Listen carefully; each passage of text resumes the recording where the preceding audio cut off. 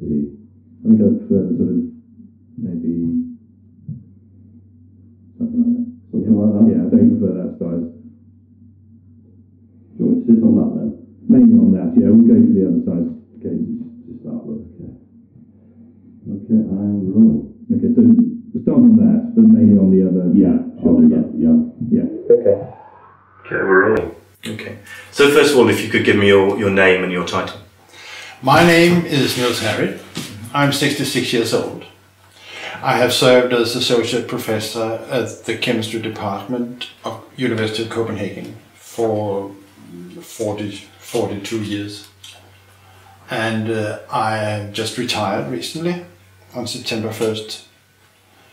And but I still have my office and some students left and my research is still running.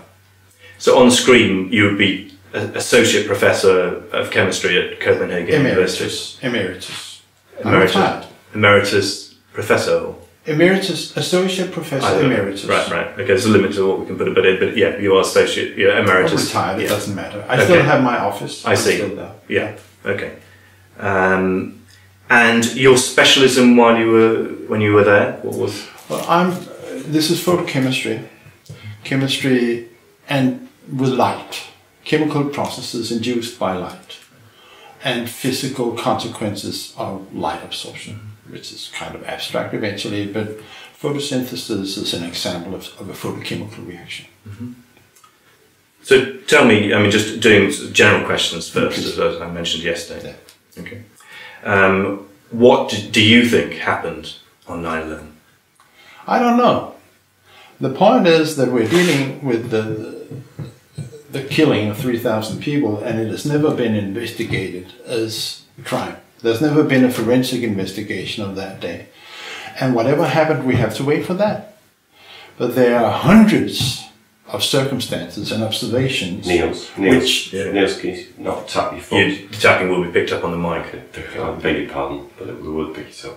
Thank you. Do- I mean, uh, ju- Just uh, let me ask that question again. Do, what What do you think happened on 9/11? I don't Do you agree with the official thi- official account? No, I don't. The official account is that America was attacked by 19 young hijackers uh, guided by Osama bin Laden. And uh, for once, we haven't seen one single forensic proof for this conspiracy theory to be correct. Not one bit of proof. Not one bit of forensic proof. But I thought there's actually quite a lot of facts out there. Well, why haven't we heard about them? I haven't. But I have heard about and seen and been involved in the production of hundreds of observations and facts and circumstances which violates the official conspiracy theory. And that's why we are waiting for a criminal investigation of the crime. And until this occurs, we should stay open for whatever it will lead us.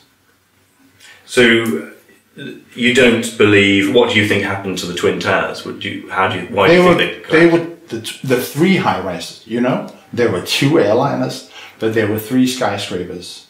And all three of them unambitiously were taken down in controlled demolitions. controlled demolition? Meaning that you take down the building by the application of incendiaries and explosives. And is there evidence that explosives and incendiaries were used? Plenty. Yeah, in abundance. And who would want to plant those? Oh, this is we. I don't know. I, I'm not talking about people or politics. I'm talking about facts and observations, physics and chemistry.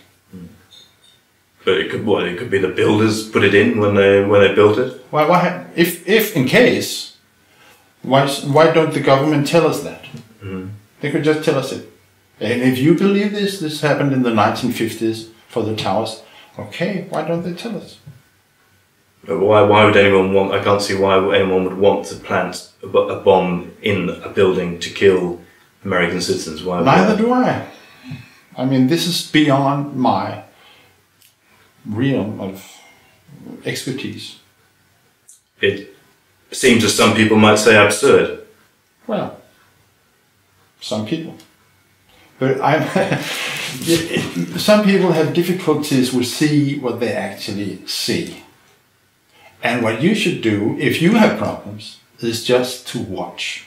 There were three high rises, but there were only two airliners. Now you don't have to have a PhD in physics to count the three, okay? So what happened to building seven? Which was roughly a little less than half the height of the Twin Towers. It collapsed on its own seven hours after the North Tower. And the way it came down unambitiously indicates that it was a controlled demolition. There is no way a steel framed high riser can come down due to fire. And it's very easy to understand because over history there's been many fires in steel framed high rises. And each time you're doing an experiment. And this is what we scientists, we love experiments. Each fire in a steel frame high rise was an experiment. And you make an observation when the fire is over, the building is still there. This even happened in the, in the Twin Towers and many other high rises. Each time you're drawing the conclusion the building did not come down. The experiment is being repeated many, many times.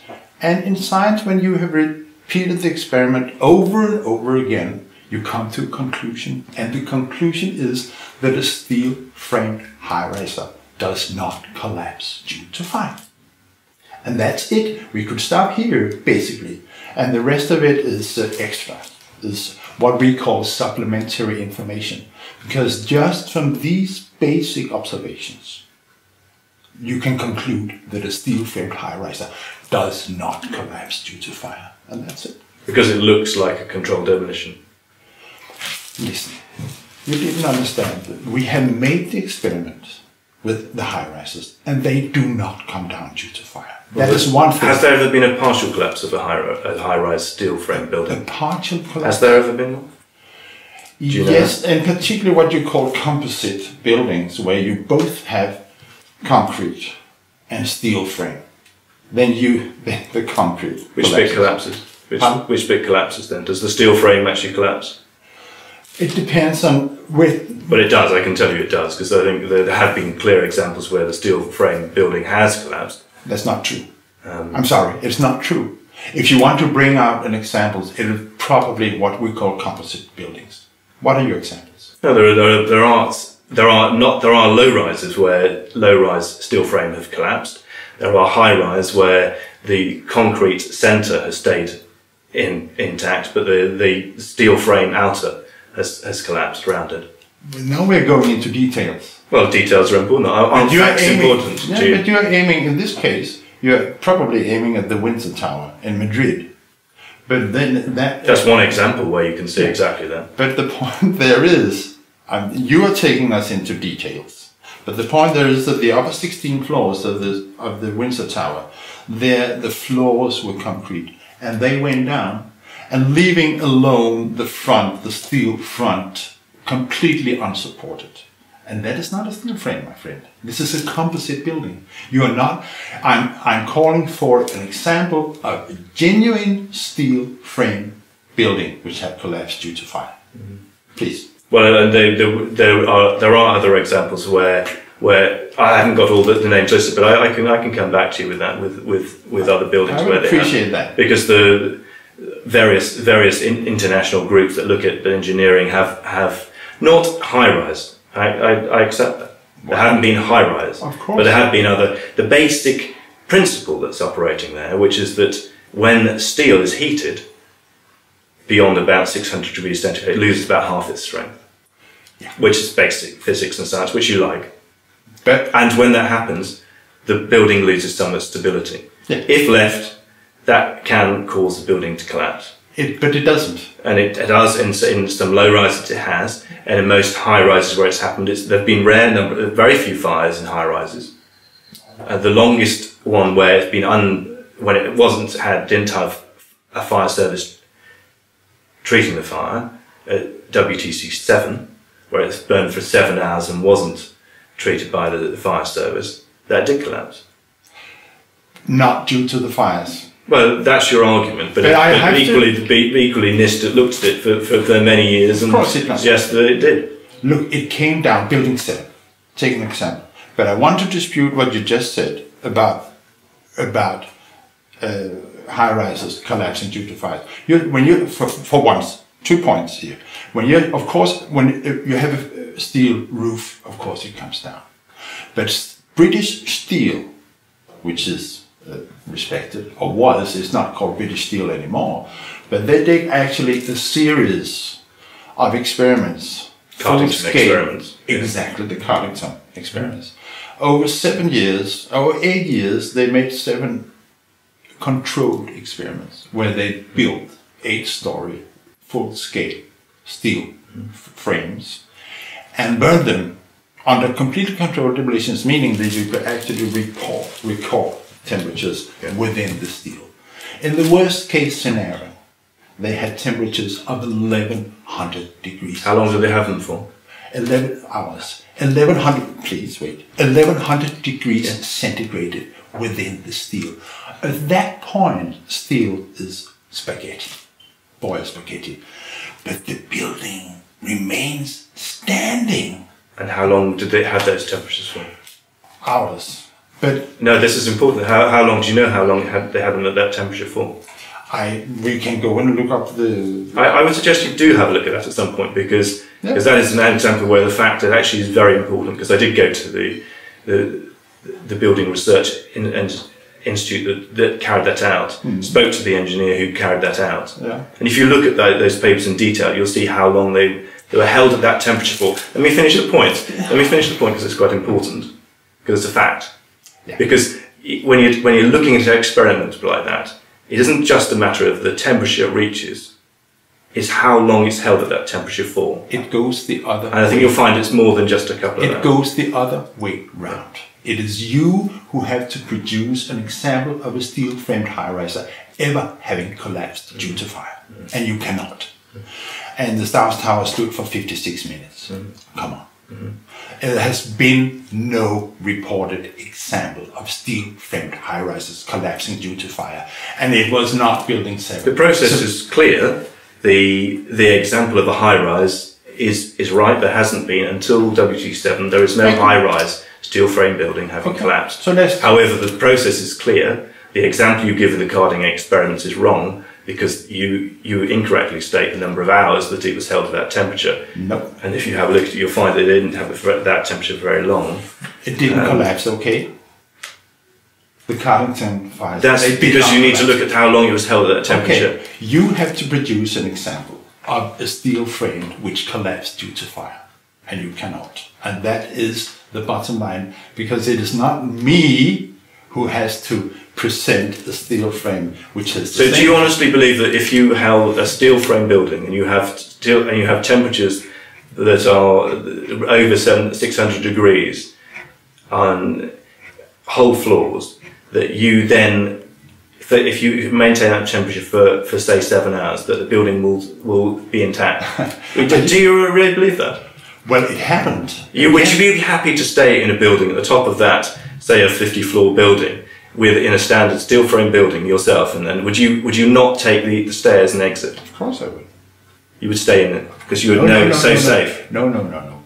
Please, when you're saying that the first building ever to collapse due to fire, a steel frame, was Building Seven.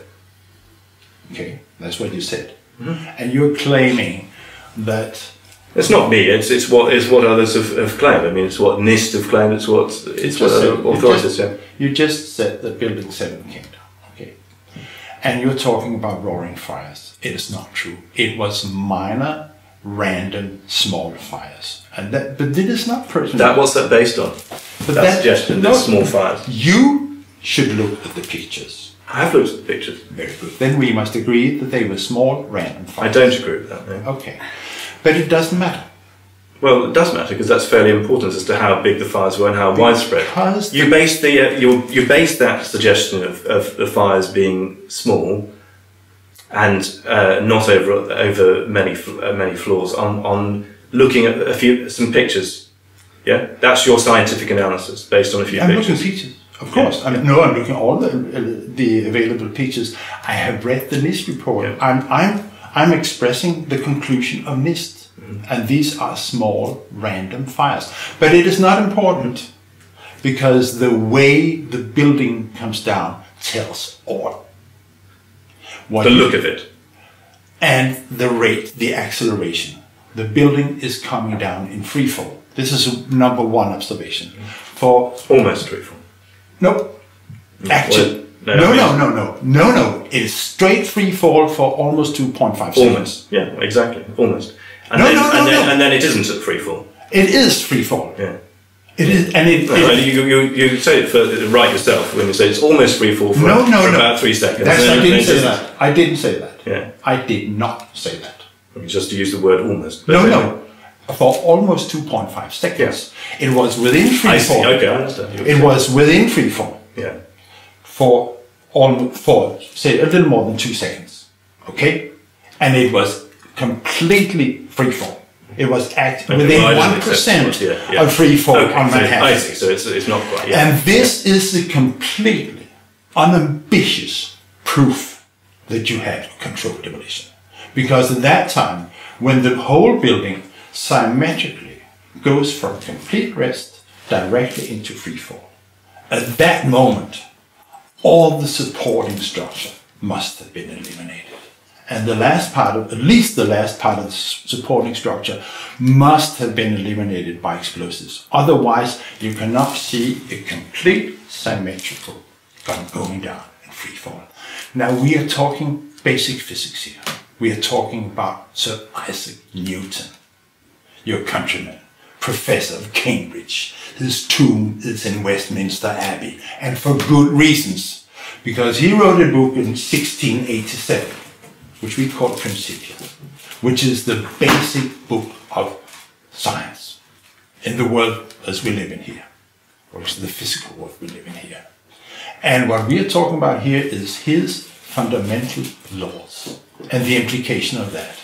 Newton has been right for 350 years. He has never lost a game. So the conclusion, based on this observation, is that the building was brought down by explosives. And the official report by NIST suggests that there was an internal collapse of many floors before that, which allowed it to collapse in the, in the way it did. You've read the report, that's what it, it talks about an internal collapse, isn't it? But it doesn't, doesn't make any You discount that. No, no, because You think they made it up? Yeah. Yeah, yeah, I do. I think that the NIST report is scientifically so flawed that I would call it a fraud. It's a scientific fraud. It's a conscious cover up. So the, no doubt. you're accusing the people who worked on it, Dr. Shyam Sunder and the other people who worked on it, of, of being fraudulent, Uh, of being of being deliberately covering up what actually yeah, happened. yeah. Quite frankly, It's quite a serious allegation, isn't it? it is. And what do, what evidence do you think they deliberately covered up? Oh, that is a long, long story. And we have, the, no, I'm not alone in this. There are 1,500 architects and, and architects and engineers behind this claim. Richard Gage, you know this organization. And uh, the, I consider it scientific mainstream that Building 7 came down in a controlled demolition. And you can go through the NIST report page by page. And you can see how they're suppressing, twisting, making deliberate and undeliberate errors, downright errors. And it is, and, and of course, we have, I'm, I'm not alone. There are thousands of scientists behind this. And uh, we have pointed on all the faults. It's all, it is not, of course, in the mainstream media. You find this information on the web because the mainstream media do not want to report this. For some reason or other, you should be better to answer that. But it's, uh, yeah, I stand behind my accusation. Yes, absolutely. And uh, tell me about just just going through some more general points. And uh, let me just uh, talk about. You talked about the architects and engineers for 9/11 Truth. What do you think has happened to the uh, those who've questioned the official account. How, how, do you, how would you characterize how that movement has changed over the last 10 years? The movement has changed. It's been growing. It's growing every day. The hundreds of people are, seeing on their own. Each one is acting on their own. Nobody's telling anyone to act. Each one is acting out from an inner voice telling me there's something wrong here. If you have seen Building 7, there's no way back. You can try to you can try to put it away. I haven't seen it, but it's always there. And Building 7 is coming down in free fall. Obviously controlled demolition. So you can try to cheat on yourself or you can speak up and live with dignity. And when did you, what made you, what convinced you that the official account was? I saw Building 7, it's four years ago. And I had two problems immediately. One thing is that up until that point, I thought that the World Trade Center were the Twin Towers. Like everybody else, I, most people actually in the world. And uh, I was told that this was this was World Trade Center, and what I saw was a gigantic skyscraper. From Danish standards, it's three times taller than any building we have around here, coming down. And why should this be World Trade Center? Why have nobody told me about this before? I, this goes to BBC. And uh, the other thing was that I, as a, as a natural scientist, I'm trained to try to understand whatever goes on around me. This is my instinct, always trying to understand what's going on. And I couldn't understand why this building standing there, the last seconds there are even, not even small fires. There's no smoke, there's no nothing. You just see the building going down and you can actually see the explosions are running from the bottom up on the north side. You just watch. But at that time I didn't understand. I just, I just, said, hey, what's going on? So I had to look into it. This is the bend of my nature. And after a couple of weeks, I understood that this is the most important event in my lifetime. And from that moment on, there's been no way back. And do you feel sort of driven by this? I'm driven by two things. First, I'm opposed to crime. And we are talking about the killing of 3,000 people, and it has never been investigated as a crime. That we have no, we have been presented for no evidence. There's been no grand jury, and uh, nobody has been wanted for the terror attack. Osama bin Laden has never been wanted for it due to the lack of evidence. That's one thing. I'm opposed to crime. Next, I have six grandchildren. And in a couple of years, they'll be old enough to ask me, Grandfather, which side were you on? And I'm going to answer them, I was on your side. So, do you believe that there were 19 hijackers? Do, do you accept the official account that there were 19 hijackers and they did hijack four airplanes? There is no evidence. There is no evidence that these 19 hijackers ever got on these planes. There are no tickets, they're not on the original manifestos. There are no boarding passes. There are no ground hostess telling them they're boarding. There are no videos of them going through security. The one you might refer to is from Portland. There is no evidence that they would be able to take over four airliners at the same time within a half an hour or something and and prevent eight adult trained seasoned pilots from just pushing the hijack button there is no evidence how these young men who had never flown an airliner before could hit the twin towers it is like threading a needle on a horseback at 900 kilometers at 60 kilometers an hour. There is no evidence explaining why the American Air Force remained on the ground for one and a half hour. Under ordinary circumstances, they would be up and intercepting within 10 minutes. And they stood still for one and a half hour. There is no evidence explaining why an airliner, Flight 77, after having flown around in the most supervised airspace on the Earth were able to slam into the most strongest surveyed and protected and defended building in the world, the Pentagon. And it was flown by a pilot who couldn't even rent a Cessna. He was not allowed to and it is doing a completely crazy maneuver in the last step, making it 270 degrees turning and diving at the same time. And you want me to believe that? If this was the script of an action movie, wouldn't you run to the ticket office screaming and ask for your money back? So, do you think that civilian airplanes did crash into those buildings? Do I believe that? C- civilian airplanes, the American Airlines, Oh, United Airlines. sure, of course. There were two airliners. Some people don't believe that. Obviously, they use. of course, there were two airliners crashing into the towers.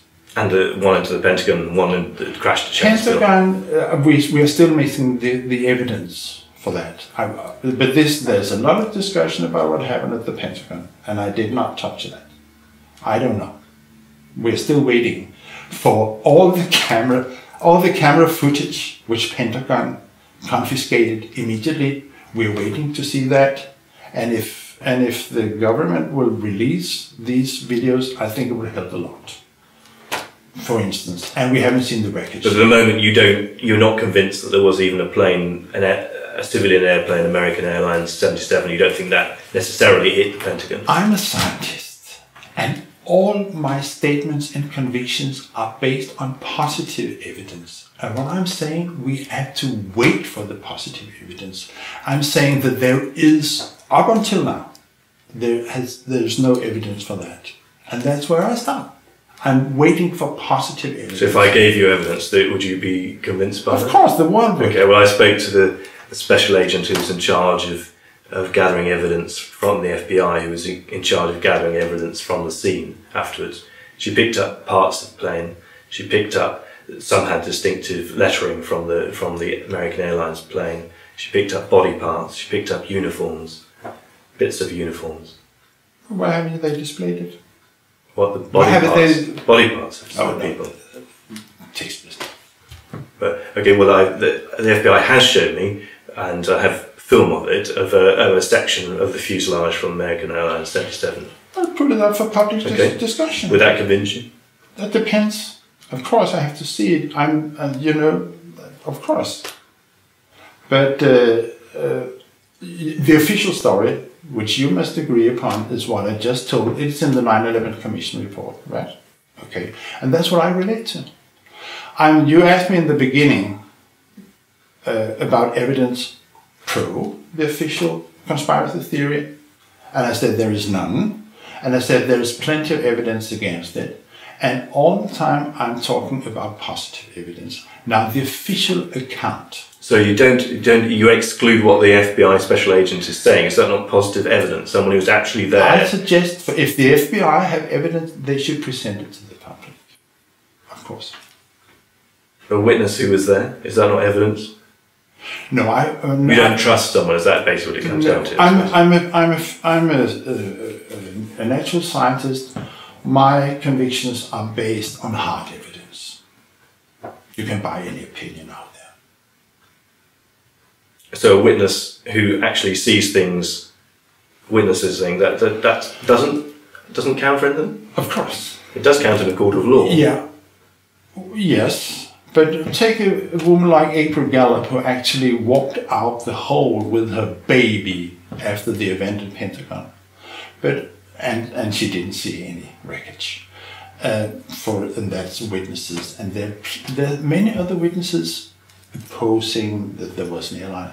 But please, we are into territory now where there is contradicting witnesses. And I say my I base everything I'm saying here as hard evidence. You're dragging me into a situation where there is no hard evidence. Well, I've seen and I've I've, spoken to witnesses um, and I've seen things myself, which is very hard evidence. I've spoken to a structural engineer who was there and has seen, you know, I don't think you were there, um, That's pretty clear evidence from someone who's there. And I think to, to discount someone who's actually there as a witness, This is secondary, secondary evidence. You have spoken to somebody who has seen the evidence. Show me the evidence. That's what I want. yeah. Yeah, every- everybody should want that. Well, a court of law wouldn't work on that basis, would it? A court of law wouldn't work on the basis that We discount a witness who was actually there. But can we agree? Very good. I wouldn't agree on that no, because No, no. a court of law works on the basis. That's how all courts of law in, across the world. A, witness is fairly essential to it. If you just discount all witnesses, then of course you're not going to see any evidence. I mean, Great. yeah. You want the court of law. So do I. So let's set the court of law and bring in the witnesses. Can we agree on that? Well, it's not for me to decide what you know. So I, I, I, I go and ask people and ask the questions, and and and uh, when people are happy to talk to me, then I'm delighted to talk to them. But I, what I find strange is that you are not willing to accept the, the word of someone who's a, a clear witness to something. You were referring to the court of law, and we can agree on that. So let us set up the grand jury, bring in the witnesses, and take it from there. Mm. Yeah, but the point I'm asking is, what, why can't you accept that a witness who's there, an eyewitness? Why don't you accept an eyewitness just because they're an official? What are we talking about now? Well, they're like the the FBI special agent who was on the scene, Well, the FBI special- gathering gathering bits of plane, gathering bits of body parts, gathering bits of, of uniform from from people who've been blown up from their line. That's pretty tragic. That's that's pretty vital and real. And you just to dismiss that as though that doesn't count strikes me as rather flippant with, with facts. The FBI agent has seen this. I have. Yes, but what I'm asking you is why shouldn't you therefore listen to that FBI agent and Oh. take take note of it and change your views because of that?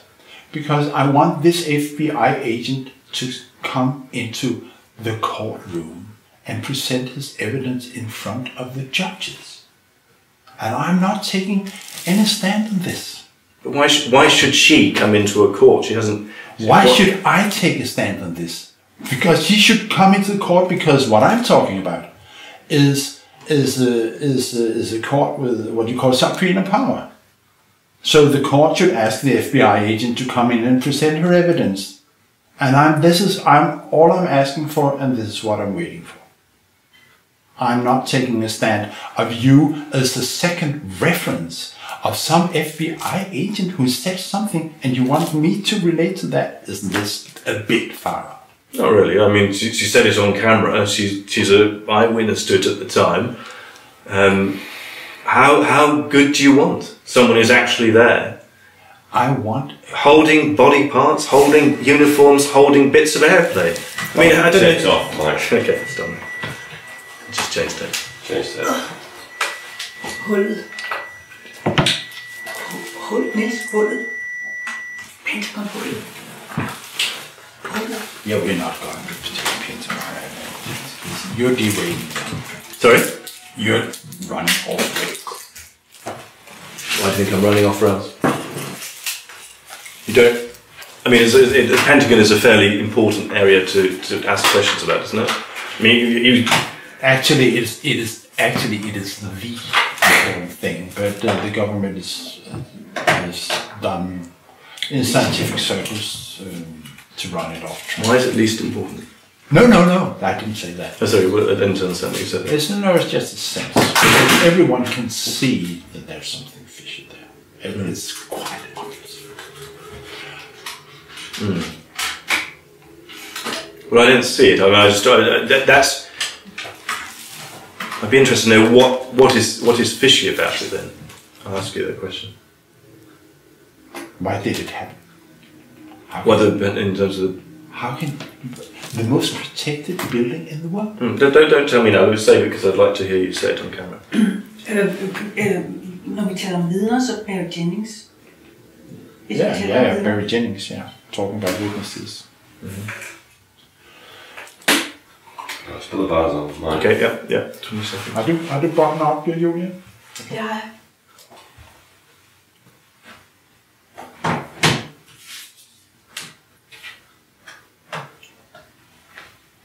innenfor et bjørneskille. Yeah.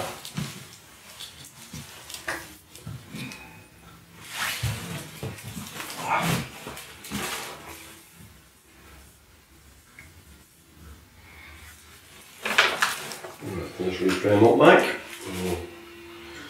Crack on. Just a second. Focus. Okay, camera's rolling. So we were just asking about the Pentagon, Niels. Um, the, the facts seem fairly clear. What happened there? The official account does seem to check out with all the facts that are there. Really, I disagree. And why do you, why do you think that it doesn't I have- doesn't? Why do you think the official count doesn't seem to hold true at the Pentagon? Well, I have I've said this already.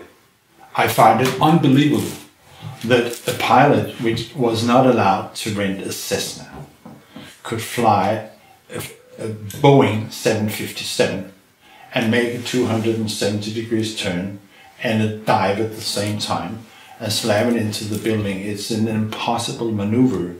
I don't believe that it should be possible for an airliner to attack the most protected and, and best defended building in the world. And uh, so, if the government wants me to believe that, I suggest that they release the more than 80 videos, as I understand, video cameras actually monitoring this building. That they just relieve the footage of the Boeing, and that's it. And until then, I'm just waiting for the hard evidence. So where did the airliner go? I have, I don't know. American seventy seven disappeared, or Uh, Well, please. I'm referring to hard evidence. I'm not doing any speculations. I'm just waiting for the hard evidence. but there were there were passengers on. it. There was an American Airlines seventy seven. There were, did have passengers on it. Had pilots on it. Where did it where, where did it possibly go if it didn't crash into the into the Pentagon? I'm a physicist and chemist. I specialize in the collapse of the World Trade Center. And all these discussion about the airliners and the passengers, and there's plenty to talk about.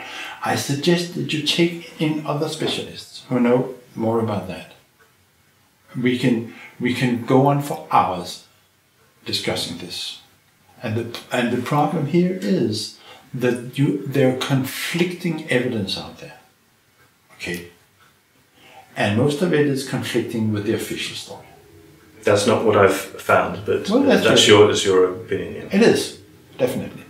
But until further, I think that it is unbelievable that an airliner should be allowed to fly around for one and a half hour and then slam into Donald Rumsfeld's own office building. I don't believe that this is, was just an accident. I've spoken to an air traffic controller, um, and he explained why they failed, and they did fail. It was a failure to, to, to launch aircraft to intercept, Okay. and the explanation is fairly clear Right. that there was a lack of communication. and, There's been written books about it. Please. But you don't, you just don't accept that you you know the explanation, but it doesn't mean anything to you. I don't believe that the American people is paying billions and billions of dollars to the most effective air force in the world, and they should fail on such a simple occasion like this. And you, you, you've sort of questioned whether there were indeed 19 hijackers. Um, and a few months ago, we heard news that Osama bin Laden been killed. Do you believe that he, he was killed by US Navy SEALs then? I believe that Osama bin Laden died more than nine years ago, probably on December the 12th or 13th, 2001. Way back then. And, and what happened to him after that? He died. What, but what did, what, what did, why were the Ameri- what were the Americans hunting for after that? They had a big operation to try and hunt for him. The CIA, the FBI involved in a, in a, in a large hunt for, for Osama bin Laden. What were they doing? Were they just doing that for a, for a joke? You should, why don't you ask them? I did ask them. Well, please. Uh, And they right. said, they, they said they were insulted by the suggestion they would not be doing, they were not working to try and find Osama bin Laden. Well, I, I, They say I, it was absurd. I apologize if I have in, if I have insulted anyone, anybody. I'm talking about hard evidence from start to end. They said they had hard evidence when they when they when they were there. They had DNA. Um, they had they physically ID'd the person, and the, his wife at the time shouted out his name. Why don't they show us? And if they showed it, would you be convinced? Or would you then say we want a court of law and something else? Of course, it should be the co- of of course he should be convicted. He has never been charged. And somebody called the, the FBI way back, a reporter called um, Ed Hart, and he asked the FBI, "Now why why why don't you why is Osama bin Laden not wanted for 9/11?" And uh, the spokesman uh, called Rex Tomb answered quite bluntly because FBI does not have any hard evidence connecting Osama bin Laden with the terror attacks on 9 11, and that's it. This is FBI admitting that they do not have any hard evidence for this, and we haven't seen any hard evidence either. You don't I think haven't. you don't think Al Qaeda was involved in 9/11 at all? We're, we're going into the political realm now. I think it's not the political arena. I think it's sort of it's it's, it's the official account of what happened. Official No. account of what happened absolutely essentially says that uh, Al Qaeda was responsible for 9/11. Of course not. Yeah, of course. I, I have not seen any evidence that the 19 hijackers. Actually, I know an Iceland, Ireland, an- a, a- a person from Iceland who has put out a reward of 10,000 pounds sterling to anyone who can produce hard evidence for that the 19 hijackers actually boarded these planes. And his money is still in the bank. So if you can present hard evidence that the 19 hijackers went on board these planes, you can earn 10,000 pounds sterling like that.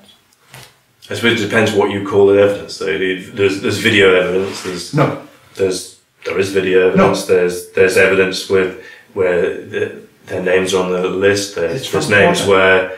But it depends what you, you see. You don't accept certain things that you would, other people would call evidence. Um, and then there's there's there's the there's evidence of the things that have been collected from from from the World Trade Center on the ground, which you, and you and you don't accept that again, do you? his passport. I, do you accept that? They are finding the passport beneath the towers before the collapse. So you think that the hijacker, flying at 960 miles per hour, tells his co-pilot a few seconds before impact, I just have to pull out my passport. He's rolling down the window, throwing out the passport, and it is accidentally just found on the sidewalks. Is that the story you accept? So the passport was planted. I, I, you, I, asked, I asked you, is this a story you accept? Or do you think that the passport survived the blast of the jet fuel and flew out through the flames and landed on the sidewalks? This is what you believe? Are you serious? Yes. You are? Okay. I think, well, that's, that's the official account. Is that not the official account? Well, if you accept the official account there, I, we disagree. I beg to differ. But that, so it's- the point is, is if, if, if evidence is presented to you, and I guess this guy in Iceland, it, it, it, you, you decide whether it, you think it's evidence or not. Of course. It's like I, you know, I might go and speak to a witness. that You haven't spoken to This any witnesses from. You, I don't think you've actually spoken to any witnesses who were there at, at the, say, the Pentagon. But you, if, if I go and speak to someone, you say, well, they're not, they're not, a, they're not a witness that I accept. We're talking you, about- you have a different approach to what is a what is evidence, and you dismiss anything that I suggest to you. Um, You it seems a strange way of operating. You suggest that the passport found from one of the hijackers, besides World Trade Center, belonged to a hijacker who had just flown an airliner at 960 kilometers per hour into a high rise. And he rolled down the building and took out the passport and threw it out. This is what you accept. no, I don't accept that. You just said that. No, I, accept, I, I it. accept it was it was found afterwards, and it would have been. It's quite possible that it was ejected from the plane. Why? Why not? Why not? because I just outlined the scenario that I, you would flunk any exam, my friend, at uh, even elementary school in physics and chemistry. This is completely beyond imagination. And um, you didn't quite answer the question I was asking in terms of Al Qaeda. You don't think that Al Qaeda was involved in any way in 9 11? I'm expecting for evidence, please. We must have an investigation. So, at the moment, do you think there's any evidence that Al Qaeda was involved no. in 9 11? No. And all evidence is against it. Against what, sorry? The, uh, Against the 19 hijackers. I'm not talking about Al Qaeda. I'm talking about the 19 young men who, according to the official conspiracy theory, this was a con- conspiracy. Okay, 19 people. conspiracy, yeah. conspiracy. Yeah. It was a conspiracy, okay, when 19 people agrees of making a crime, it's conspiracy, and it's a theory.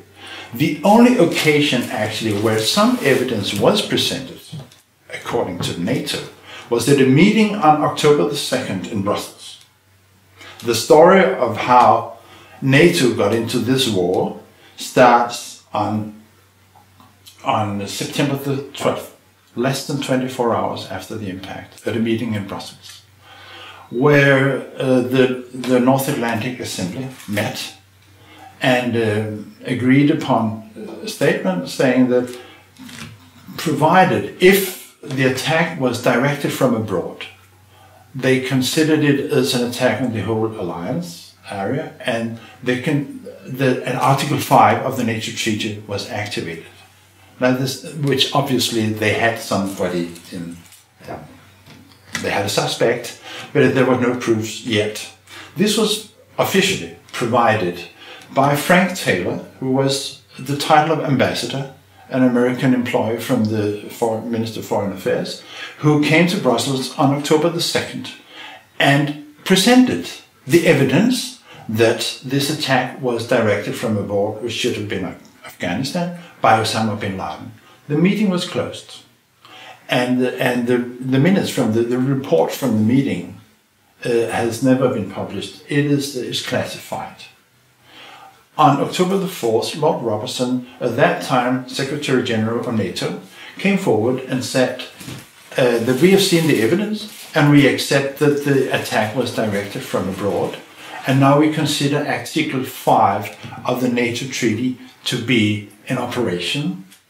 Uh, from, and from that moment on, my country was at war with Afghanistan.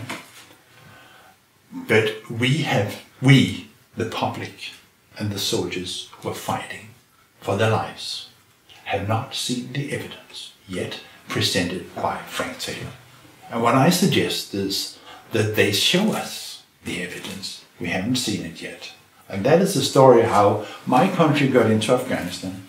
And this is the only political statement I'm ready to put forward here. Denmark has the highest number of casualties in Afghanistan relative to our population. Okay, we're fighting in Helmand. And I think that we owe the soldiers why we're there. And it was originally Operation uh, in 2002, the hunt down for Bin Laden. And the Danes were there already at that time. Okay.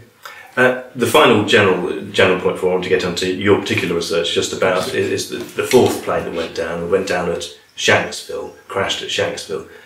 Do you believe that was a, a civilian airplane, or do you believe it crashed into the ground at Shanksville? There was no wreckage. The people who came out actually to look at the wreckage, they, they went home after 20 minutes because there was nobody there. The coroner said, well, I'm finished, there's no job for me. They just went home.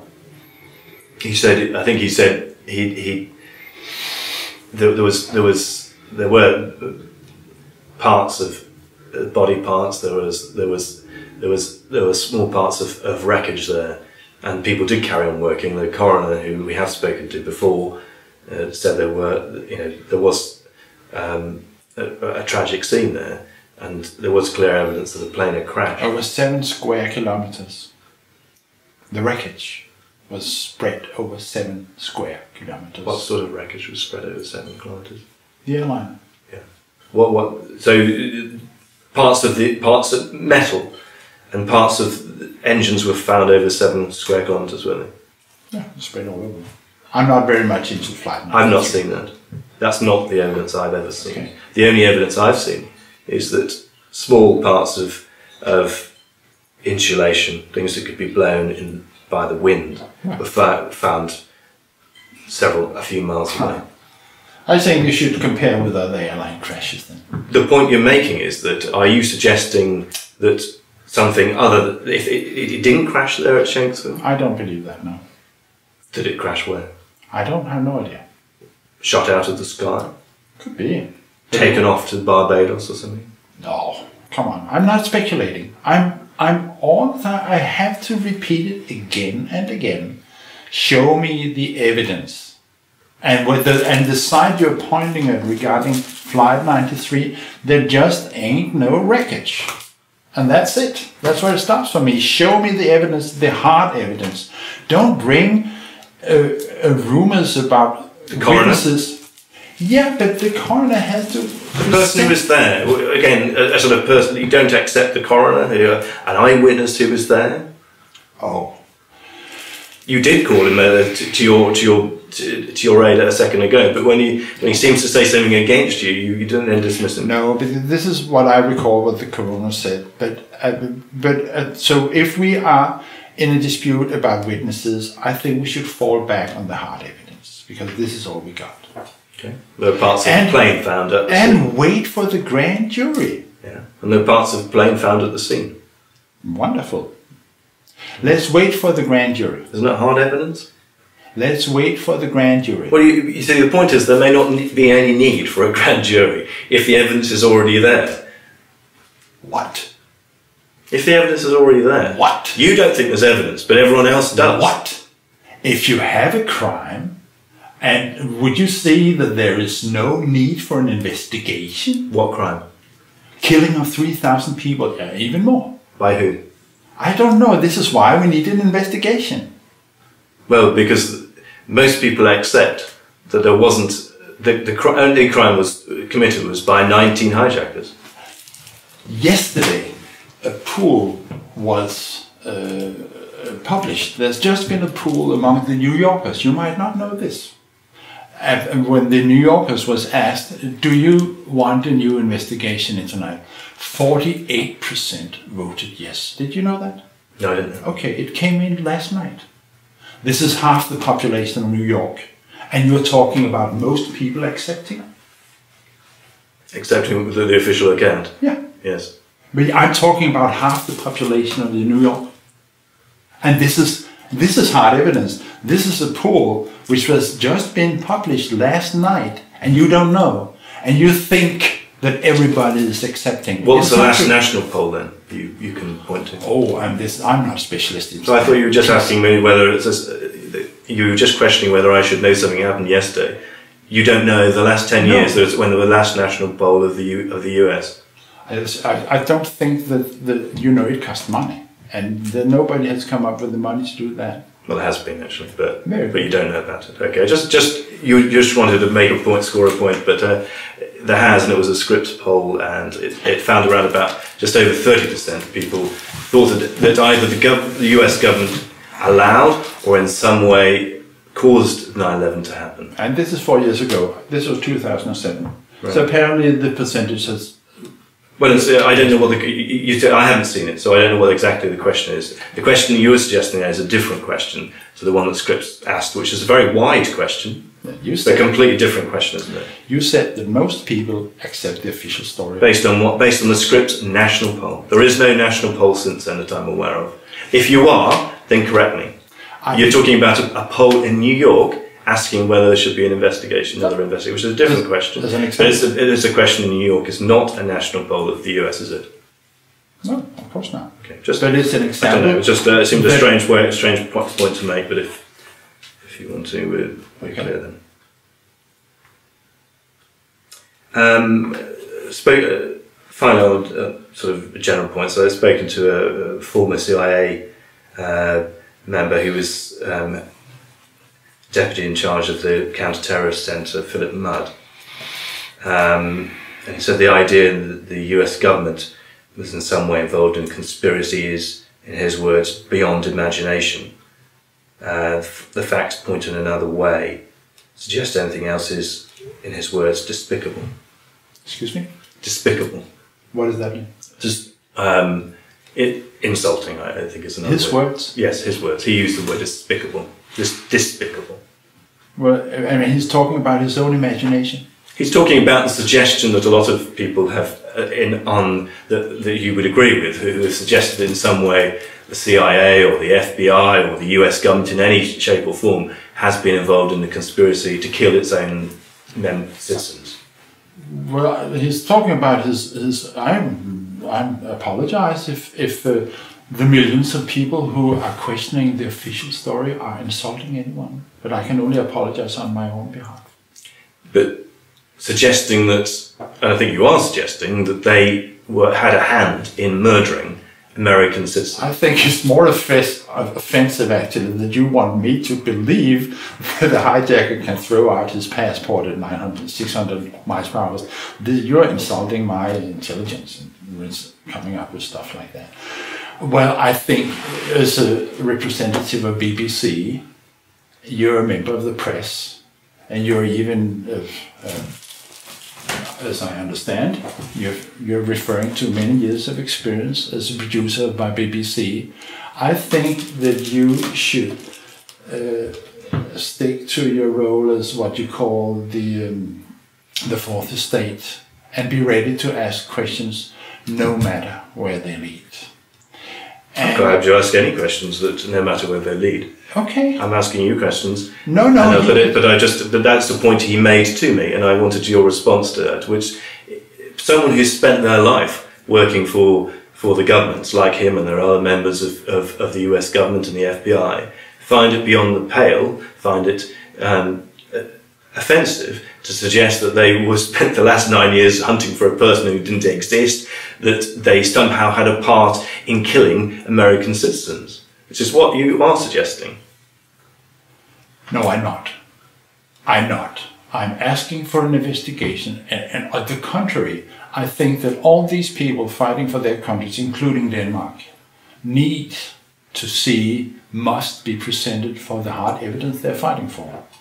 I think that I am doing the person you're referring to a great service by asking questions. I think he deserves actually an investigation, doesn't he? Well, I don't think he's asking for one. So He doesn't. He doesn't. He doesn't. He doesn't feel feel the is, need. Why is he offended that, that actually the, the basic for his own work should be? But it doesn't. It doesn't he, to be clear, what, what he said to me is that he doesn't just. He doesn't. He doesn't see anything wrong with you asking questions. He's quite happy for you to ask as many questions as So you want. But it, but the, the the the opinion that people then have, the theory that people have, which is basically, you suggest there were explosives and incendiaries planted in three buildings at the, at the, at the World Trade Center. I don't to kill American people must have been carried out by someone. You actually don't like to suggest that it could have been carried out by the obvious implicated person. The, uh, and other people in, in, in the, in, who present alternatives will say this. Look. they say it's the US government in shape or form. They say, oh, the distant figure of Cheney and others in a small cabal were present. Ultimately, what you're saying is that US government killed its own people. It's, it's the other way around. There, it was a crime to kill 3,000 people.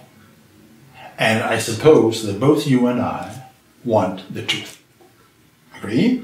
Absolutely. Absolutely. So what's wrong with suggesting a criminal investigation of the crime? That's your your request. Yeah. Yeah. And that's it. Yeah. Okay?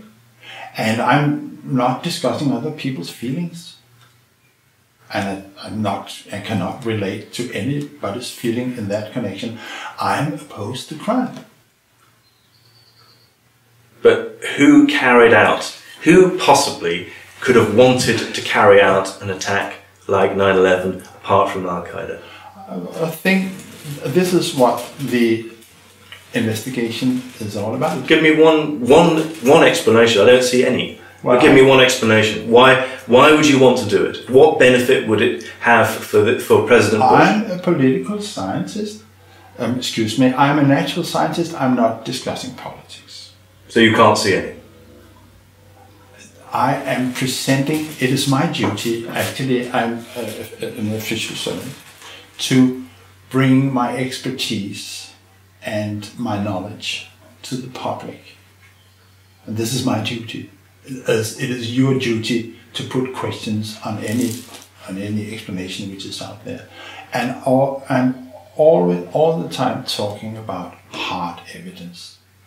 I'm not talking about rumors. I'm not pointing fingers. I'm calling for an investigation of a crime. This is completely beyond. But the- to, to have a, to have any crime, as you would like to call it, one of the basic aspects of any crime is to have a motive. I don't see any motive. well, this is your problem. Yeah. Go- oh, is it? I, I don't see. It may be a problem with But you- philosophy, I- but if, I no, if you don't see a motive, I mean, it's not. It's not the problem. is not me, but I mean, in any crime, you would look for a motive. You, Before- you haven't looked for a motive. Before you investigate, Well, as you investigate, it's one of the essential points of it. If Isn't, it- isn't it if- essential in any invest, criminal investigation to have a motive? if a person is killed, do you think the police is coming and asking for a motive before they start investigating? And you don't think they'd ask for a, a motive in their investigation? No, no, but I, su- I, su- I, I suggest that you start investigating before asking for a motive. Isn't that natural? You might look for a motive during the course of investigation, but to start an investigation, 3,000 people were killed. Don't you think that should be investigated just because you have a limited imagination? Should that refrain or prevent the police from investigating the crime? So it was investigated by the 9/11 Commission. It was invested by, investigated by NIST on several occasions over over many years, over cost of, of, of hundreds of millions of The dollars. 9 11 Commission was a political commission and it was not investigating the crime. It was only, it was, and it failed, uh, trying to make an account of what happened on the day and trying to take measures so that it should not happen again. And the 9 11 Commission report is also deeply flawed. And, uh, and uh, but this is, has been considered by other people. I know you have met with David Ray Griffin, and he's the expert on that. Now, regarding the NIST report, I have all, which addresses the technical aspects, and this is where I come in because I have read it. I would not hesitate to call scientific fraud. It's a cover up. I stand on that. But you can't see any motive. You can't see. You won't. You don't. You can't. You can't see any motive to do this. Do Well, this, I- this you horrific don't- crime. to start- to kill three thousand people is a pretty serious allegation, but you can't see a motive. to start to start a criminal investigation you don't have to to have a motive before you start agree on that It's uh, every criminal investigator I've ever seen. That that it looks to a motive. yeah I mean, shouldn't you be, as an investigator yourself, look No. looking for a motive? well, Why i will not? be I would. I look for a motive. I don't see one. please but you're not in the fbi No, I'm not in the FBI. so No. let's leave it to the police No, but I, I'm uh, asking questions. I ask a question. It's a straightforward question. It's a straightforward, and I thought it's a straightforward answer. But you don't see an, you don't see any motive. but your only reference is your own lack of imagination Okay, give me give me an example Are there any possible motive for it. no no no no no i'm just saying that the facts are the hard evidence are that 3000 people were killed and i'm opposed to crime and i just suggest that we have criminal investigation Well, I say the, the, the obligation is on your part, actually. The other way around is that the official explanation is, is fairly clear. Um, it's very clear indeed. Um, there's all the people I've ever spoken to in terms of eyewitnesses there and actual evidence when I've seen things points to, to backs up the official account. But the point- but, but, but for, and you have to prove that there's not only something could have carried out, you have to show why it would be carried out. That's, that's absolutely basic. You have to try and persuade people, but you're not willing to engage in that for some strange reason. I don't know why. Maybe because it because it's fanciful if you suggest it. Because it might seem absurd. Is that the worry? Well, if you have problems with your own imagination, I think this is not. I have plenty of imagination, but it might. But I don't want to go drift into the realms of absurdity. Of course. So, do you accept it's absurd I think to come up with a motive? I think it is absurd, as I just told you before, that the whole scenery, including the 19 hijackers going into the four airliners, for which there is absolutely no evidence should be taken from the top. They have, they have actually they outfoxed FBI, CIA, 16 intelligence agencies. They got past the ticket control. There are no tickets. They're not on the original flight manifest. There are no boarding passes. There are no ground hostesses seeing them boarding the planes. There are no video evidence for them going on board the plane. They're taking over four airliners within, I think, half an hour. They're overcoming eight very mature, strong airline pilots, four of them with military backgrounds, and none of these eight airlines pilots can just slip the hijack switch when they're overcome by these young men, and they're they're slamming two of them into the twin towers at a rate of 960 kilometers per hour. This is like threading a needle on a horseback. You can't, you just cannot do that. And as I told you about Pentagon, that you have a, a pilot, we're talking about the official account now, and what you are ready to believe. You're ready to believe that a person who could not rent a Cessna uh, flew a Boeing 757. He had never been in the cockpit before, and he could make a maneuver when he, where he's going around 290 degrees and diving at the same time several kilometers and slamming it into the best protected and supervised surveyed building in the world after having been flying around in the airspace for one and a half hour, slamming it into the Pentagon. And this is what you believe. And you are That's talking, account? This is what you believe, and you're talking about imagination. I didn't say no, Jess. I'm just asking a simple question. If- what possible motive? this was- no, if- understand. What if- possible motive is there that for planting explosives and incendiaries in the World Trade Center? I'm not calling for, I'm, I'm not dealing with motives, I'm dealing with hard evidence. And I promise you, there is no way that the three high rises can, could come down due to the impact of the two airliners. It's against basic laws of physics and it's against all the observations. And you don't have a single explanation as to why it might, Melanie might want to do it, which is strange. But uh, there we are. So, Neil, Niels, how many samples did your paper look at?